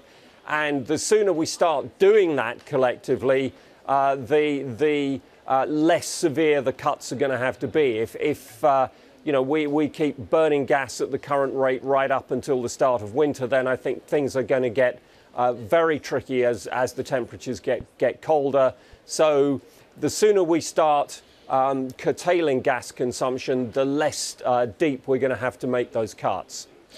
Off the subject of gas, onto the subject of oil, Julian, I'm just taking a look at WTI prices down some 18% since their peak just last month. I mean, we have seen a massive cooling in the oil market. Obviously, a lot of the conversation shifting to a potential cooling in demand if the economy is slowing. And yet, I know that earlier this week you put out an opinion piece that says if we're lucky, OPEC is wrong about its demand forecast because we're still not going to have enough supply to meet it. Is the market getting the supply and demand balance wrong?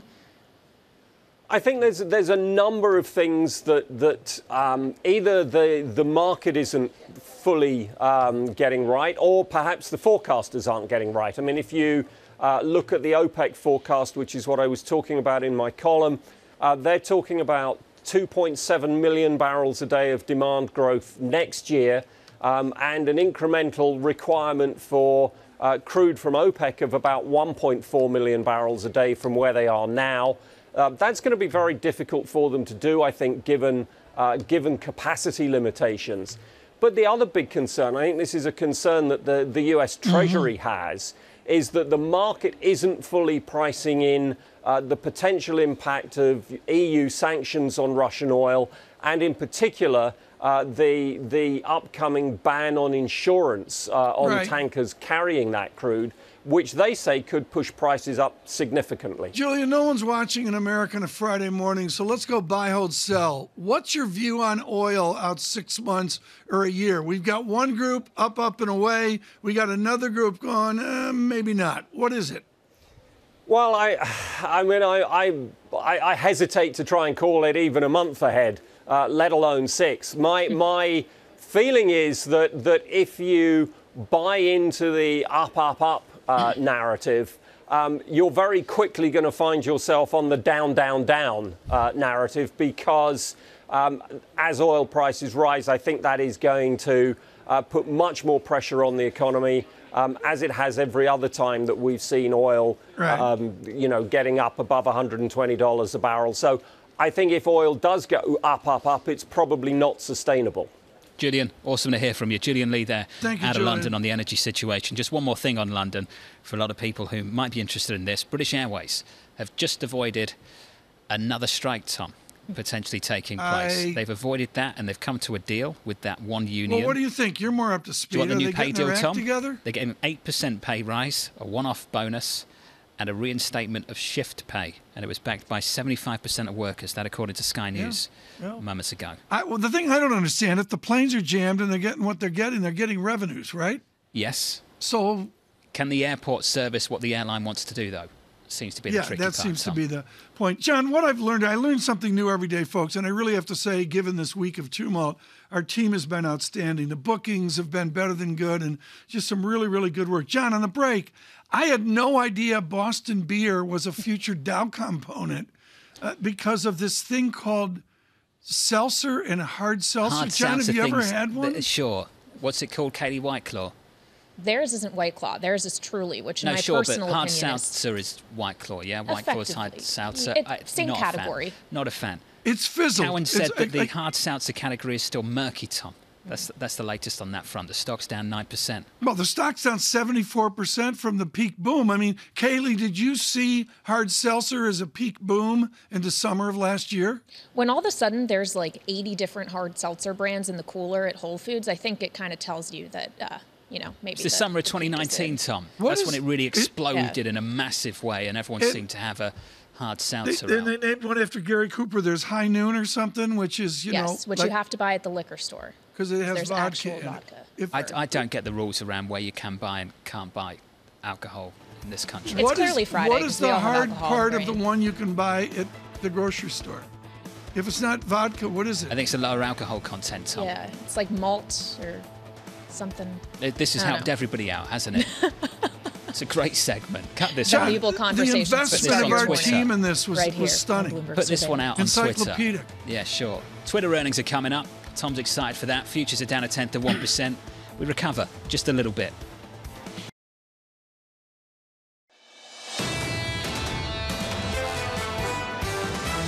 We're seeing a bit more weakness now, cracks in consumers, in the housing market. That's the inflation picture in Europe and globally. It just forces central banks to front load. The natural slope, I think, for the ECB is to really get at least into this neutral range. It's tricky for Europe because the ECB is potentially raising rates into a period where we're already seeing slowing growth. It's always a trial and error situation, and I think personally they made the error.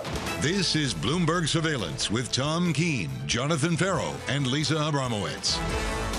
Good morning, everyone. Jonathan Ferro, Lisa Abramowicz, and Tom Keene. Thrilled you're with us on a Friday, looking into weekend reading, looking into a critical week next week. And John, for Jerome Powell, and certainly for Germany, it's Fragmentation Friday. I'd go further, Tom. It's on the brink of recession Friday over in Europe, looking at those PMIs. Dreadful. And looking at that move at the front end of the German Bund curve, Tom.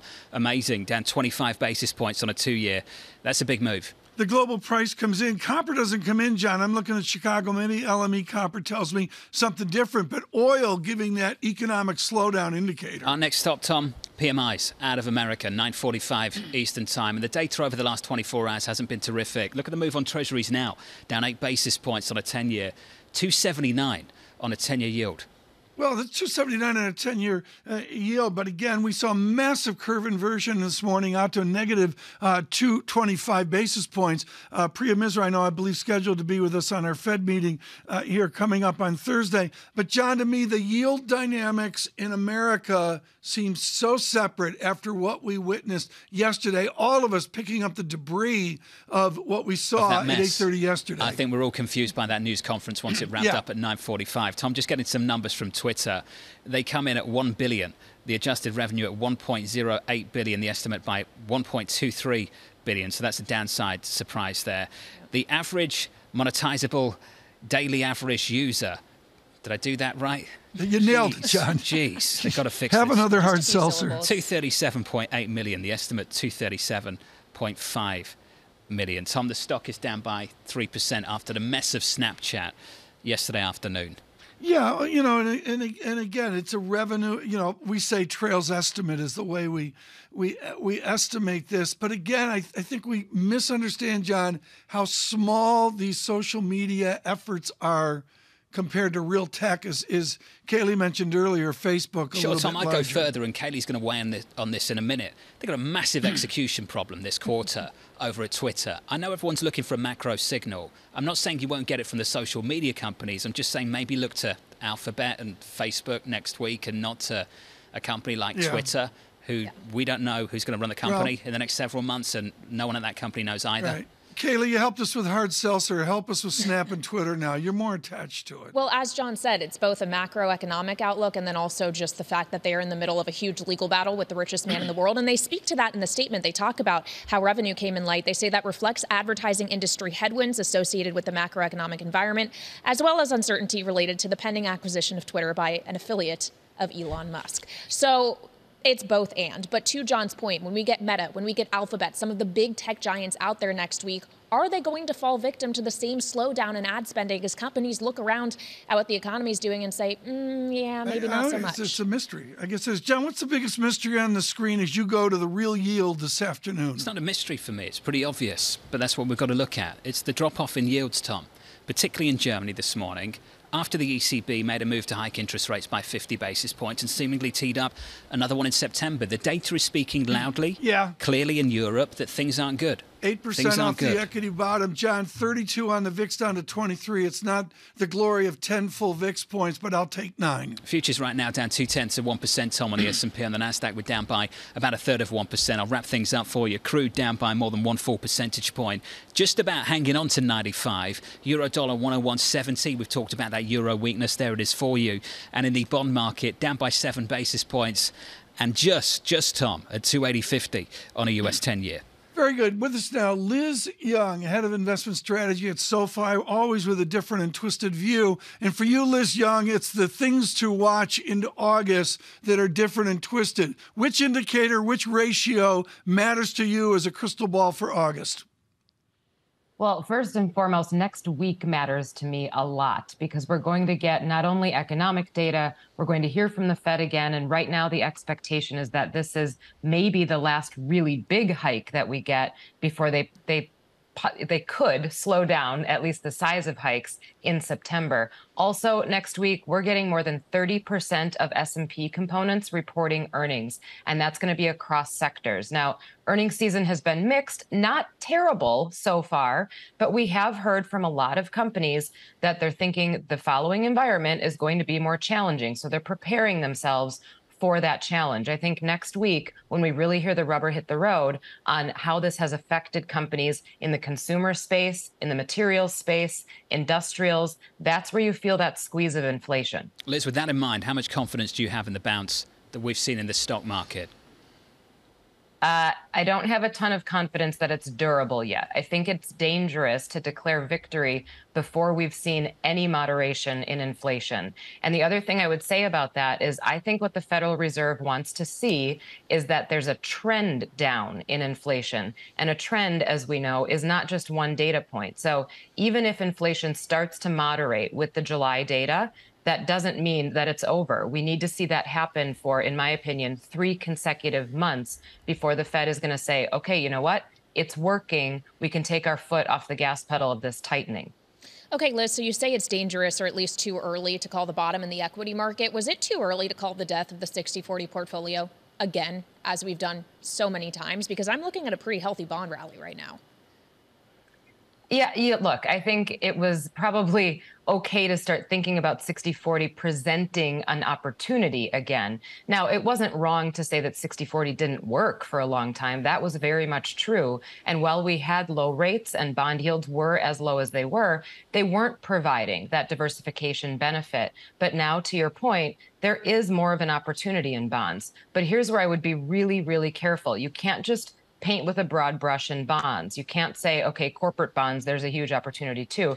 Because really, if we're worried about a recessionary situation and we're worried about more stress in the equity market, that also means more stress in corporate bonds, both investment grade and high yield those spreads have gotten a little bit worse, but they haven't gotten as as bad as you would expect them to be mm-hmm. in a recessionary environment. So you okay. have to be looking at treasuries and those really high quality bonds. Well, what would you be looking for on high yield spreads then? We've heard this week 700 plus.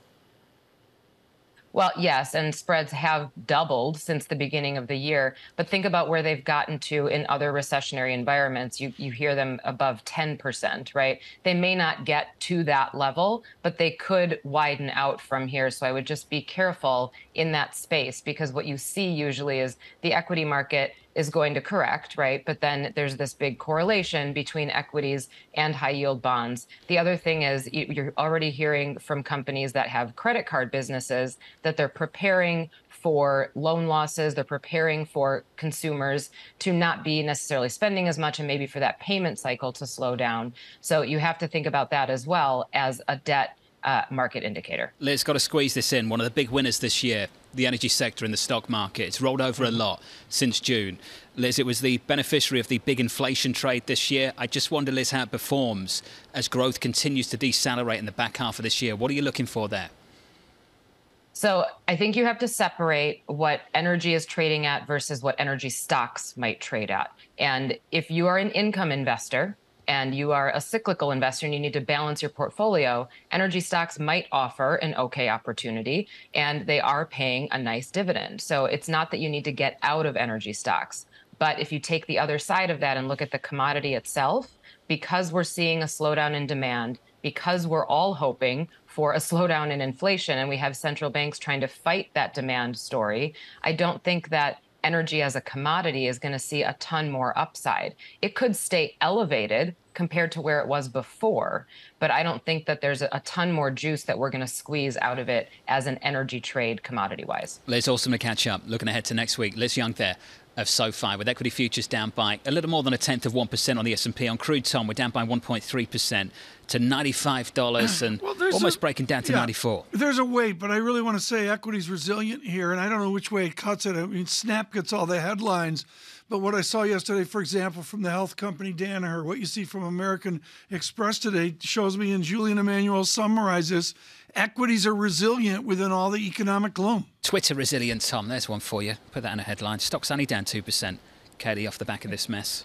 Only as they cite the same ad- advertising headwinds that headwinds that we heard Snap talking about. Snap's punishment far worse. That stock's down the Yeah. better part of 30% in pre-market trading. Also down in tandem with both of those, Alphabet and Meta. Alphabet right now off about 3%, Meta Yeah. more than 4%. We get those reports next week, Tom. John, you know, I'm really focused here on what you and I need to do to finish the month strong. Here we go. And What add is it? value to Bloomberg surveillance. And I've never seen a friendly. I mean, okay.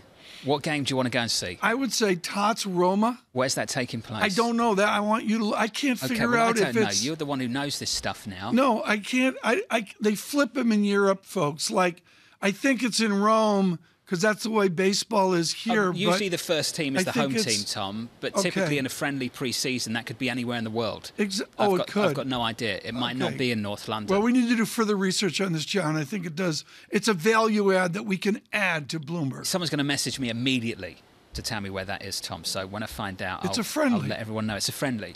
Are friendlies like friendly? They can be, Tom. People are usually less Do the, aggressive. do the stars play? Does Harry play? Some of them do when you try and get the rest of the squad on too, so they get fit for the season that starts in early August. That's what you and I do. This is us right now, getting fit for We're getting fit the for Federal the Fed Reserve meeting. meeting, next week. Uh, what are you on this morning? Honestly, you're seriously, me. folks, they you are just killing me this morning. John's entourage just sent me the lineup for for July 27. John, we have the greatest set of bookers cool. on the planet. Extra Tang this Friday. Please Spiked don't. tang, Please clearly. don't. Hard tank. Hard tank. Futures down at 10. I'm talking to them right now. Dear me. This is Bloomberg. Keeping you up to date with news from around the world with the first word, I'm Ritika Gupta. Commerce Secretary Gina Raimondo warns that the U.S. can't keep relying on Taiwan for semiconductors in a virtual speech to the annual Aspen Security Forum. Raimondo said Congress needs to pass legislation to support the domestic production of high-end computer chips. She called the $50 billion package, quote, a Sputnik moment for America. Progressive groups want Senate Majority Leader Chuck Schumer to re- recuse himself from legislation targeting big tech. They say he has a conflict of interest because of his daughter's work at Amazon and Meta platforms. 16 groups have been advocating for antitrust measures cracking down on tech giants. No comment yet from Schumer. And there is another sign that a recession may be on the horizon in the euro area. Private sector activity in the region unexpectedly shrank this month for the first time since the pandemic lockdowns of early 2021. A survey of purchasing managers by S&P Global dropped to a 17-month low. Manufacturing output fell and service sector growth almost stalled. In the UK, a new poll shows Foreign Secretary Liz Truss extending her lead over former Chancellor Rishi Sunak in the race to be the next Prime Minister. According to a YouGov survey of Conservative Party members, 62% said they would vote for Truss and 38% went for Sunak. An earlier poll this week had Truss leading by 19 points.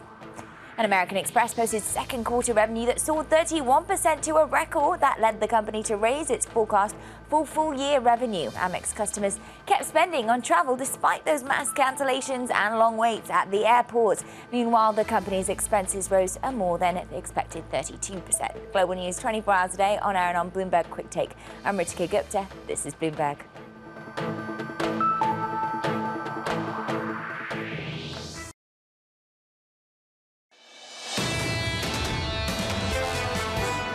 The research team at, at Bank America has the uh, year-end recession, which they made a call on a few weeks ago. But it's a it's a slight recession, and a recession is not accompanied by high unemployment, which means it ought to right itself and come back out. But it's more the impact of the Fed raising rates and slowing economies. Brian Moynihan there, the chairman and CEO of Bank of America, catching up with David Westin. Always good to hear those two in conversation. Futures down a tenth of 1% on the S&P. On the Nasdaq 100 down 30 points with negative two tenths of 1%. Yields much lower this morning, down six basis points on a 10-year to 281, even lower over in Germany. We've got to talk about that data out of Europe, just terrible. Sub 50 on the PMIs, in contraction, yields lower in Germany, Tom, on a two year uh, by 22 uh, uh, basis the, points. Bad, John, I've been remiss on this. Javier Blas comes to the rescue. You had the French bailout last week of energy, and this morning you have Germany's Uniper, U N I P E R, which I guess is basically a modern utility, if you can call it that, John. And I calculate off Blas's work that the bailout is 1.33 million per employee just as one metric of 11,000 employees as well. But again, it's government to the rescue. The $9.1 billion. My understanding, Tom, based on our reporting, is that they take a stake of 30%. That holding gives them a big enough holding to have veto rights on what we call important strategic decisions. I don't know. And later this year, there's going to be some big decisions to make, Tom. It's a new capitalism and speaks to the crisis at hand in continental Europe. Right now, he's been very hard to get through to because he has extra vacation days at Bloomberg. Damian Sassower joins us right now, our chief emerging markets credit strategist. Damian, I'm watching Malaysia unwind. Philippine pesos, maybe the bank's got a level at 56, and on and on and on. What is the great unwind of EM as we go into this weekend? Well, Tom, one of the places that's been a relative safe haven has been Asia. I mean, Asian FX, if you notice today, amidst all that you're seeing in bond markets, Asian FX is the only market that's up here uh, on the day, right? So, I mean, you talk about the rupee, you talk about the Malaysian rupee, you talk about the Philippine peso. They have been a relative safe haven amidst the morass of emerging market currencies. And let's be very clear emerging markets, there is no good news. I mean, as you rightly pointed out last week, an 18% year to date decline in the EM credit has wiped away over five and a half years of profits. If you look at EM local debt, seven and a half years of profits have been effectively wiped out by this year's performance. How big of a crisis is this to the Western world and specifically to the International Monetary Fund? Well, I mean, it's been relatively ignored by the developed market central banks. I mean, we know that the big four central banks, the Fed, the, the BOJ, the ECB, and the PBOC, are now scaling back their balance sheet. I mean, on a year over year basis, the combined balance sheet of the big four central banks is now down 4.7%, 4.7% year over year. Tom, the last time that happened was the end of 2018, and stock markets reacted really rather poorly off the back of it, down 20%. So, look, we expect some some some some weakness ahead for sure. We expect some uh, some gaps in the plumbing system for sure. As we're talking about weakness, let's talk about China because we've had a lot of conversation about just COVID zero and the impact that has had on the Chinese economy. The property sector, Damian, it seems like every morning I come in, I read in on what happened in Asia, and it's that things have devolved even further, that things are getting even worse in a huge chunk of China's economy. Have we fully come to understand the risk of that? Kailey, that is a great question. And it's not helping that China is actually censoring information around the mortgage crisis, which is going on there. But from my perspective, the whole pyramid is collapsing now, Kailey. I mean, the fact that you've got mortgage boycotts, I think, you know, over 100,000, um, you know, homeowners are not paying their mortgages because they never got a home off the back of it. You know, they pre-sale. So now it's expanding to the banking market. You hear ICBC, Agricultural Bank of China is feeling some pain off the back of it. Remember, the housing market in China, Kailey, it's it's 40% of middle class household wealth. It's 35% of the funding yeah. for local governments domestically. I mean, it's it's it's a big part of the economy, 25% of GDP. So then what's the policy response, Damian? I mean, how much do you have to ease and support to get that bleeding to stop? They need to incent local governments to come in and help finish some of these undeveloped projects. That's what needs to happen right now so that the projects are finished, so that people have their homes and they continue to pay their mortgages or they begin paying again. But right now, I mean, it's a far cry from seeing that. And banks just don't want to lend in China. So that's really where the rubber meets the road. We need to get the banking community involved. And right now, there doesn't seem to be an incentive or a willingness on their part to do so. Uh, Damian, smells like a balance sheet recession coming up, doesn't it? It does. It does indeed. Look at you. I mean, look, I, for me, look, you know, I mean, you guys call me. It's a Friday summer morning. You know, the Yanks just got swept by the Astros. You know, I, I look, I'm wiping off the cobwebs here. but if you want to talk balance sheets, I mean, again, you know, you look at the big four central bank balance sheets, and the fact that they're getting smaller is never a good thing for money supply globally. It's never a good thing for emerging markets writ large. You always want to talk about sport. French Grand Prix this weekend. Damian, what you're looking for? I know you're into F1 now. This is a change. Um, I have. Which I've, I've been watching Drive to Survive. I love Max Verstappen. I love Red Bull. I love Christian. I mean, look, Scuderia. I mean, you can't. Carlos Sainz is my favorite racer, but you know, Max Verstappen. You know, he's going to be hard to beat. I, I, I love it. I I'd, love like to, I'd like to get Horner on the program oh, and, and awesome. introduce Tom to Formula One properly. We got him into football eventually, Damian. We can do that on Formula One, I'm sure. Damian Sassower, with the latest. Thank you, sir. TK, what do you think? Bit of F1 in your life? I, I, I we don't can get make it. that the, work. the late, great, wonderful Ken Prewitt, who taught me so much, tried to teach me F1. He couldn't convert you, Tom. Did, and Ken went down in flames. Tom, I got a ton of messages about Tottenham, Roma. It's in Israel. I know. I just priced it out. I mean, you know. You priced out the It's, ticket. it's on the road trip now. Well, no, the Mary, flight you know, or the actual ticket to get into the game. Mary, genius of all, priced it out for me. I went to her, Okay. and, and I think you know, you and I need to do some research on the Levant, and Right. uh, it's for the two of us, John Business. We don't have to sit next to each other. Ten thousand seven hundred ninety-six dollars Return, round trip, business class. business. And then you've got the hotel, United. the price of the ticket. Yeah, Seems like a lot of money just to go for a friendly, Tom. It's a friendly.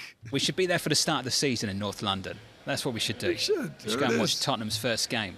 Where's Hy- is. is. Haifa near Tel Aviv? I don't even know. I'm not sure, Tom. I think I'm sure you can north. work that out. I I, can't believe you north. bothered the travel team all morning with trips we're never going to take. Mary and I are on. We're best buds. Uh, yeah, I'm sure Mary You thinks the world of you. I'm sure Yeah. she does. Tom, the market is okay It's on the equity side of Mary. things. It's a friendly equity market over the last couple of It days. is. We're down a tenth of one percent Look on the at the S&P. VIX. Come, John, Tom, the I'm VIX, you. 22.95. Everyone out there into the weekend says the world's coming to an end in equities. Michael Hartnett, read it. He's right. Dan Ives He's- agrees. Hey, Michael Hartnett's great. What do you make of the bond market move? I don't have much on Silence. U.S. bonds. And frankly, I'm looking at Germany. I mean, so am I. Yeah, I- yeah, but you started looking at 5 a.m. I started looking at 8:15. Well, I'm pleased you're catching up, Tom. The data just wasn't great at all, and I think what we're looking for now is to see what happens with the US PMIs at 9:45, and we hope they stay in How positive territory wait, in the wait a minute, 50s wait and minute. expansion. How many PMIs are there? Which ones, Tom? You mean There's like well, you've got the? S&P Global PMI, then you've got the ISM survey as well. There's some different ones, Tom, in different places. Okay. Is that helpful? It's helpful. Kailey, help me here. I have no idea what you want me to say, Tom. I'm, just told listening that to Hai- you two. Haifa is in northern Israel Yeah, on it's the in northern Mediterranean. Israel. Well, if you knew that, why did you ask? I, you wanted me out this morning. It's I'm a just going to. I've got 30 seconds to myself. Just let me be. Futures are down by 0.06 percent on the S&P. On the Nasdaq 100, we're down 26. We're down two tenths of one percent off the back of the data in Europe, which was dreadful. Sub 50 on the composite. PMI. Your euro's weaker. I said, let me be. Just let me have my. You know, moment. John, here's what it's about. You Your just let me base. John, Why your can't you base. just let me speak. Your base. Get so excited to talk all the time. It's like anchoring with a child. Just wants to speak. Your base. Euro dollar, Tom. Take this out. 101.88. Where's the Dow? Where's the Dow? Where's the Dow? Dow futures up 74. There we go. This is Bloomberg.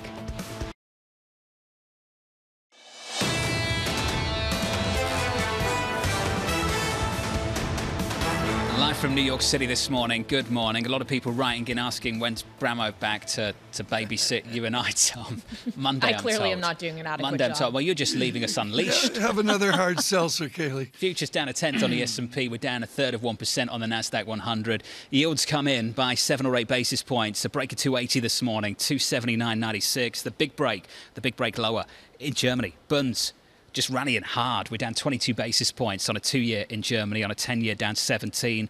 And I've said it how many times this morning, Tom? The data in Europe just dreadful Yeah, this I- well, you know, we're making jokes about it, but it's not funny, and it's certainly not funny for the people of the continent of Europe. And I, frankly, John, I bring it right over to the United Kingdom. I think it rounds on there.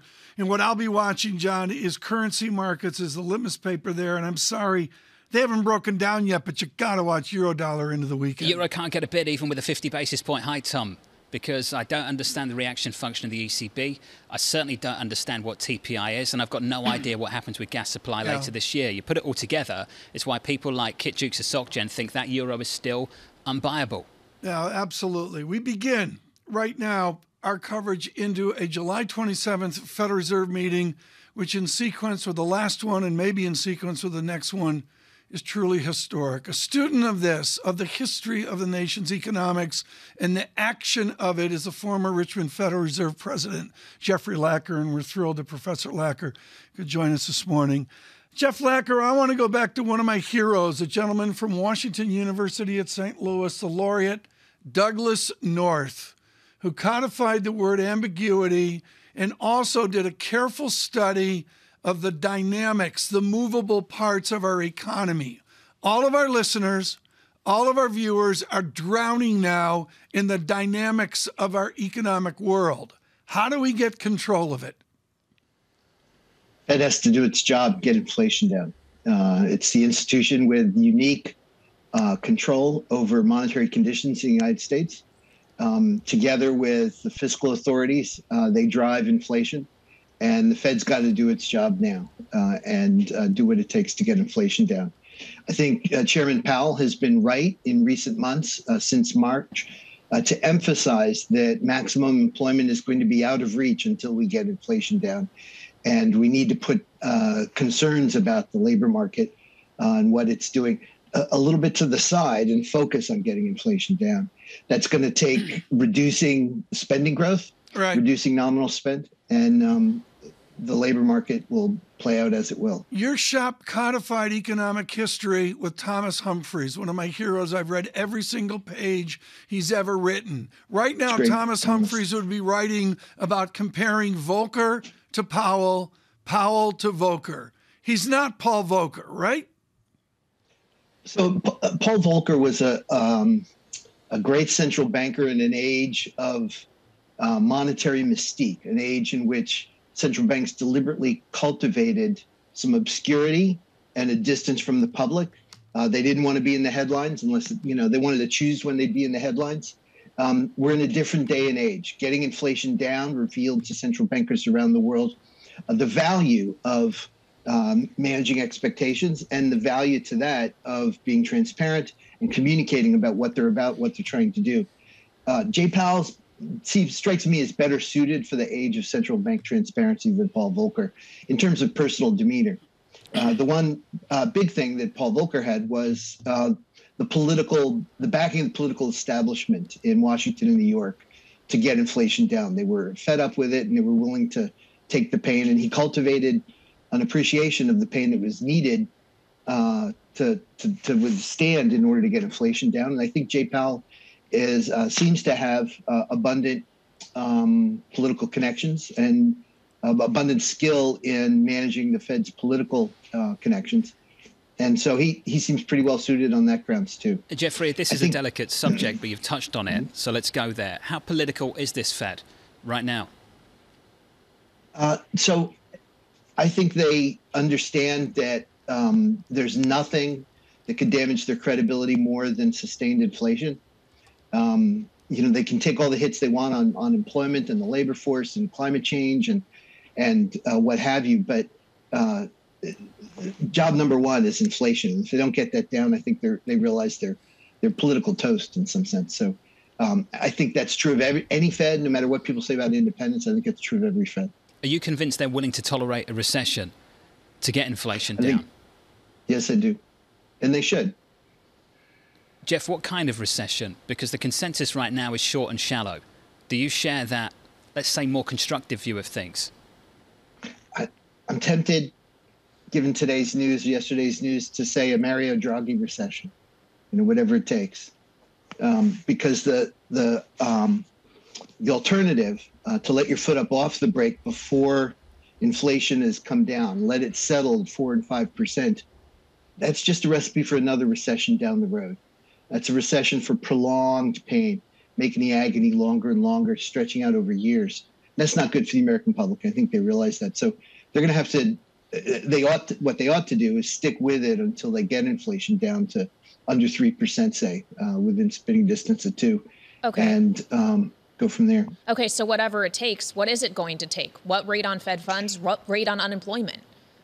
Good question. So um, I think the historical record is clear that they need to get the real federal funds rate at or above zero. Uh, so that begs the question, right? So the real rate is the actual Fed funds, Fed funds rate minus expected near-term inflation. Our best reads of that are about six percent. You've got the Michigan survey at 5.2, the New York Fed consumer survey, which is great, very good um, methodology, at 6.8, split the difference at 6%. If near term expectations of inflation stay at 6%, they're going to have to get there. If those near term expectations start falling, then what we have in store is a rendezvous between the Fed funds rate and uh, expected inflation. Uh, but I, I doubt that expected expectations are going to fall to three and a half or four by year end. So I suspect they're going to have to go higher than that. And how quickly would they need to get there? I mean, 6% is still a long way away, even with the supersized hikes we've already seen. I don't think the um, I don't think slowing down the process does them a lot of good. Um, no matter what, whether they go you know 50s or 75s, they're still going to be in a situation where the effect on inflation is out into next year. They're going to have to make a judgment about when to stop without knowing whether they've done enough or not, um, based on other indications and other calculations, like the one I, I cited. Um, and uh, so it, they might as well get get it done. Uh, they might as well get there fast. Jeff, do you look at the path back from this inflation to whatever's normal, two, three percent? Let's not get into that now. Is having a smoothness, a glide path, as Peter Orszag would call it, or is it kinked where we get to a point, we stop, we try to figure out how to lower inflation next, et cetera? Uh, you know, if the if the Fed tightens enough I think we'll just see a gradual decline down. I think it'll sag over a couple of years. Mm-hmm. I, expect it to be relatively smooth. I don't have any reason to sure. expect any jolts, absent other shocks like more oil price um, problems and the like. Jeff, how would they respond, do you think, to that negative supply shock on the energy side? I'm, I'm interested in that, not just for the Federal Reserve, but maybe more so for the ECB on the gas side of things. I don't know if you followed that news yeah. conference yesterday with Lagarde, but I think we all failed to establish what their reaction function actually yeah. is and how they'd respond to a negative supply shock that pushed gas prices higher and potentially growth lower. This is a murky area because uh, oil price shocks tend to cause unemployment, people think, well, you need to ease, that's a reason to ease policy. But if you think about it more broadly, the, the central bank's controlling the real interest rate, which is the incentive to save and delay consumption, delay spending to later. And if you get a supply shock, you want people to wait and consume later. So what you want to do is raise rates. Uh, at least one argument goes. So there's a case that you know it doesn't it doesn't mean uh, not staying the course on inflation. Interesting. Jeffrey, great to catch up. Jeff Lacker there, the former Richmond Fed president. Thank you, Tom. Looking ahead to the Fed, that this Fed might have to tolerate what he called a Draghi recession, or whatever it takes recession, yeah. to get inflation down. There's a call. They're doing it into 22, and particularly, John, they're doing it into the campaign of November 24. And unlike the sanity of the United Kingdom, I would suggest, John, that campaign starts the first Wednesday of November this year. Oh, Tom, you've raised an interesting one. You think this Fed will be deterred from hiking because of the midterms? I think this Fed will be a political Fed, as it always is, as they tell us they're not. Interesting, even with inflation always. printing where it is. Tom, do you want to join me on the nine? I've got Matt Hornbach and Morgan Stanley, PIMCO's Jerome Schneider, Kate Moore of BlackRock. I can't. I got the CEO of Boston Beer on. You want to join me for that? Have you actually got the Boston Beer CEO no. on radio? I think I'd tune in for that. Last time he showed up with us a case of Sam Adams. It was good. And some hard seltzer, which I just. I've just. never had one. You haven't, Tom? No, it just I look at it and go, I don't. It's I like, bought some of that like White Claw, put it in the fridge, like, and it just no. it stayed there. I'll take it from you. I'll get it off your hands. What's your favorite hard seltzer? White Claw, specifically it's black cherry flavor. Oh, there we White go. White Claw black cherry. Okay and it just tastes like fizzy water with Thank a hint you, of black cherry. There's a little fun in it, you know? Okay. fun on the weekend in Brooklyn, Tom, if yeah. you're interested. On White my patio. Claw, black my cherry, nice. Target with your Target furniture. patio furniture. Yeah. There's a lot of economics going into this. We're deep into research Saving this weekend, John, on hard tang. Is that right, Tom? I think I'm convinced you already have hard tang in the morning. Well, well, yeah, that's besides the point, but it's homemade. Is it? Futures are down by a tenth of one percent on the S and P. On the Nasdaq, we're down I don't by like the mango a third either. of one Tell Anne Marie I don't like the mango. You have a choice now. You can she stick with me back Bloomberg Radio from, at nine she o'clock brought back to Jeddah, Saudi Arabia. She listen brought to Tom's stories and, about you know. hard tang, or you can tune in for some market coverage on Bloomberg TV at nine Eastern. We're getting competitive, aren't we? or you can tune in for Real Yield later. Tom's anchoring oh, a special summer edition of Bloomberg Real Yield with Tom Keene coming up at 1 p.m. Eastern Time. Thought you'd be excited for that, Tom. Looking forward. Just Good, good, good. I'm, I'm, a, I'm at a loss for words. From New York, this is Bloomberg. Keeping you up to date with news from around the world with the first word, I'm Ritika Gupta. Fed Chair Jerome Powell probably will slow the pace of interest rate hikes after a second straight 75 basis point increase next week. That's according to economists surveyed by Bloomberg. They expect policymakers to raise rates a half point in September and then shift to quarter point hikes the last two meetings of the year. Trump insiders told the January 6th committee the former president ignored pleas to call off the mob start storming the U.S. Capitol. The panel held a televised primetime hearing Thursday night.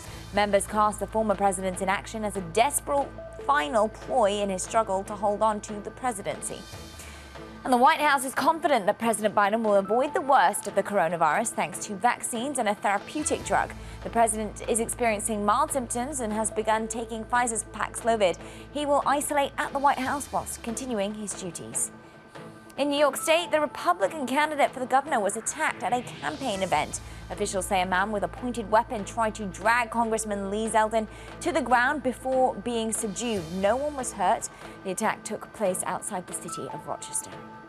And Verizon has cut its full-year profit and revenue forecast. The largest U.S. wireless carrier is trying to keep up with rivals who have made gains through heavy phone discounts. On Thursday, AT&T alarmed industry watchers with some a warning that some customers are starting to delay paying their phone bills. Global News 24 hours a day on air and on Bloomberg Quick Take, powered by more than 2,700 journalists and analysts in more than 120 countries. I'm Ritika Gupta. This is Bloomberg.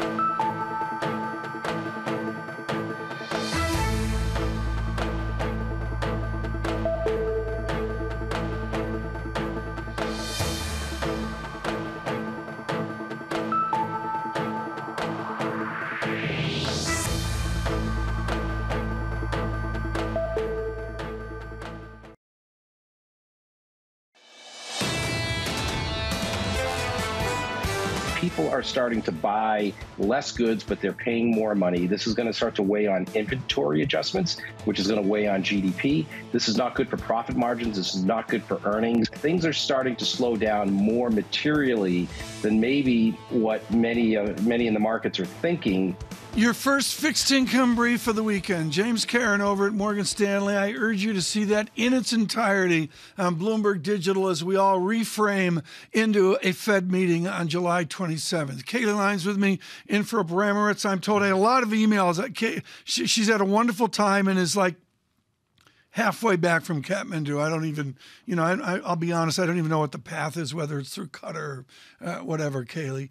Right now, and this is really important, I line up Kenneth Rogoff with his book, The Curse of Cash, is one of the most courageous books written in the last number of years. There's our Steve Engle out of Hong Kong and the courage he has done in reporting some of the challenges of the Pacific Rim.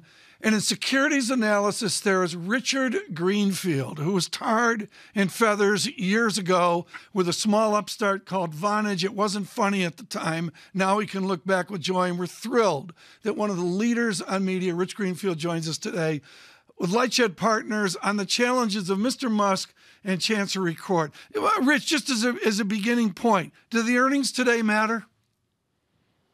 I mean, they matter from the standpoint of it's yet another signal that the online ad market is slowing. You saw it from Snapchat last night.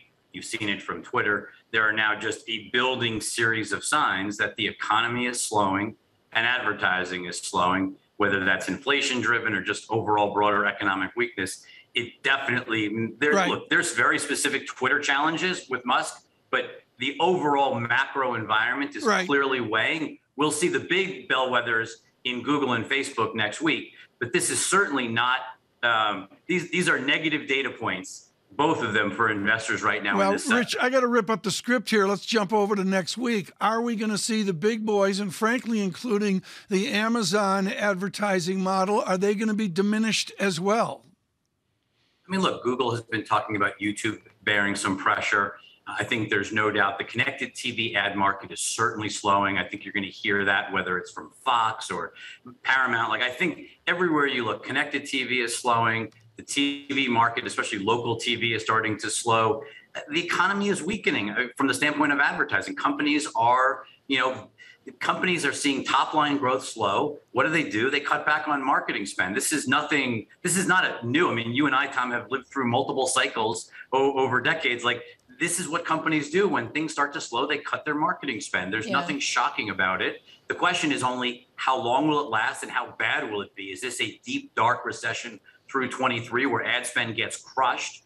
Or is this more of a shorter term phenomenon and we bounce back in 23 and that's i think that's the big question we don't know right Mhm. now but i definitely think you'll see facebook or sorry meta i keep saying facebook we will see meta certainly talk about a slowdown Yeah. in, in, in a continued slowdown in ad revenue and probably give relatively underwhelming q3 guidance i don't think as bad as snapchat but i don't think it's going to be a great you know Okay. great outlook for them. Well, for Rich, to bring it back to Twitter, they did talk in the statement about those advertising headwinds, but they also said part of it's reflective of uncertainty related to the acquisition of Elon Musk. What is your base case about what the verdict will be in that Delaware court in October? Is he going to be forced to buy this company for 54.20 a share? we really do believe he's going to be forced to buy this company for 5420 Kailey. He signed his he signed this agreement when the, the case in Delaware, which is going to be litigated on an expedited basis, he already lost the push to push this out. I I think the judge, my guess is the judge is going to look at this and go, the entire Elon Musk case essentially rests on this question of bots. And did mm-hmm. Twitter disclose the proper amount of bots? The problem with that, Kailey, is when you read the merger agreement, it never talks about bots. There's no discussion of bots. It just relies on Twitter's public filings. And if you read Twitter's public filings, it says this is how we this is how we count bots or this is how we count real users, but we could be wrong.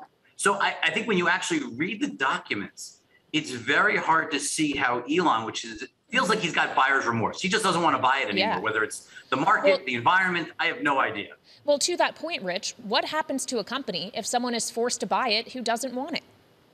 Well, first of all, it's happened before. The, the specific performance, which is being forced to close a transaction that you signed back in the financial crisis, there is precedent for being forced to buy a company.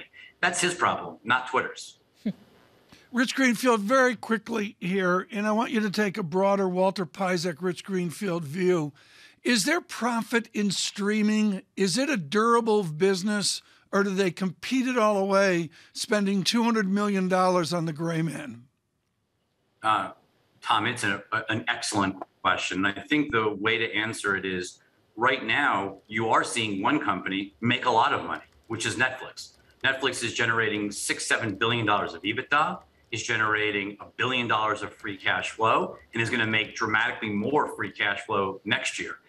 Everybody else, whether we're talking about Disney or, I mean, Peacock is losing two and a half billion dollars a year. Paramount Plus lost a billion in the last two quarters.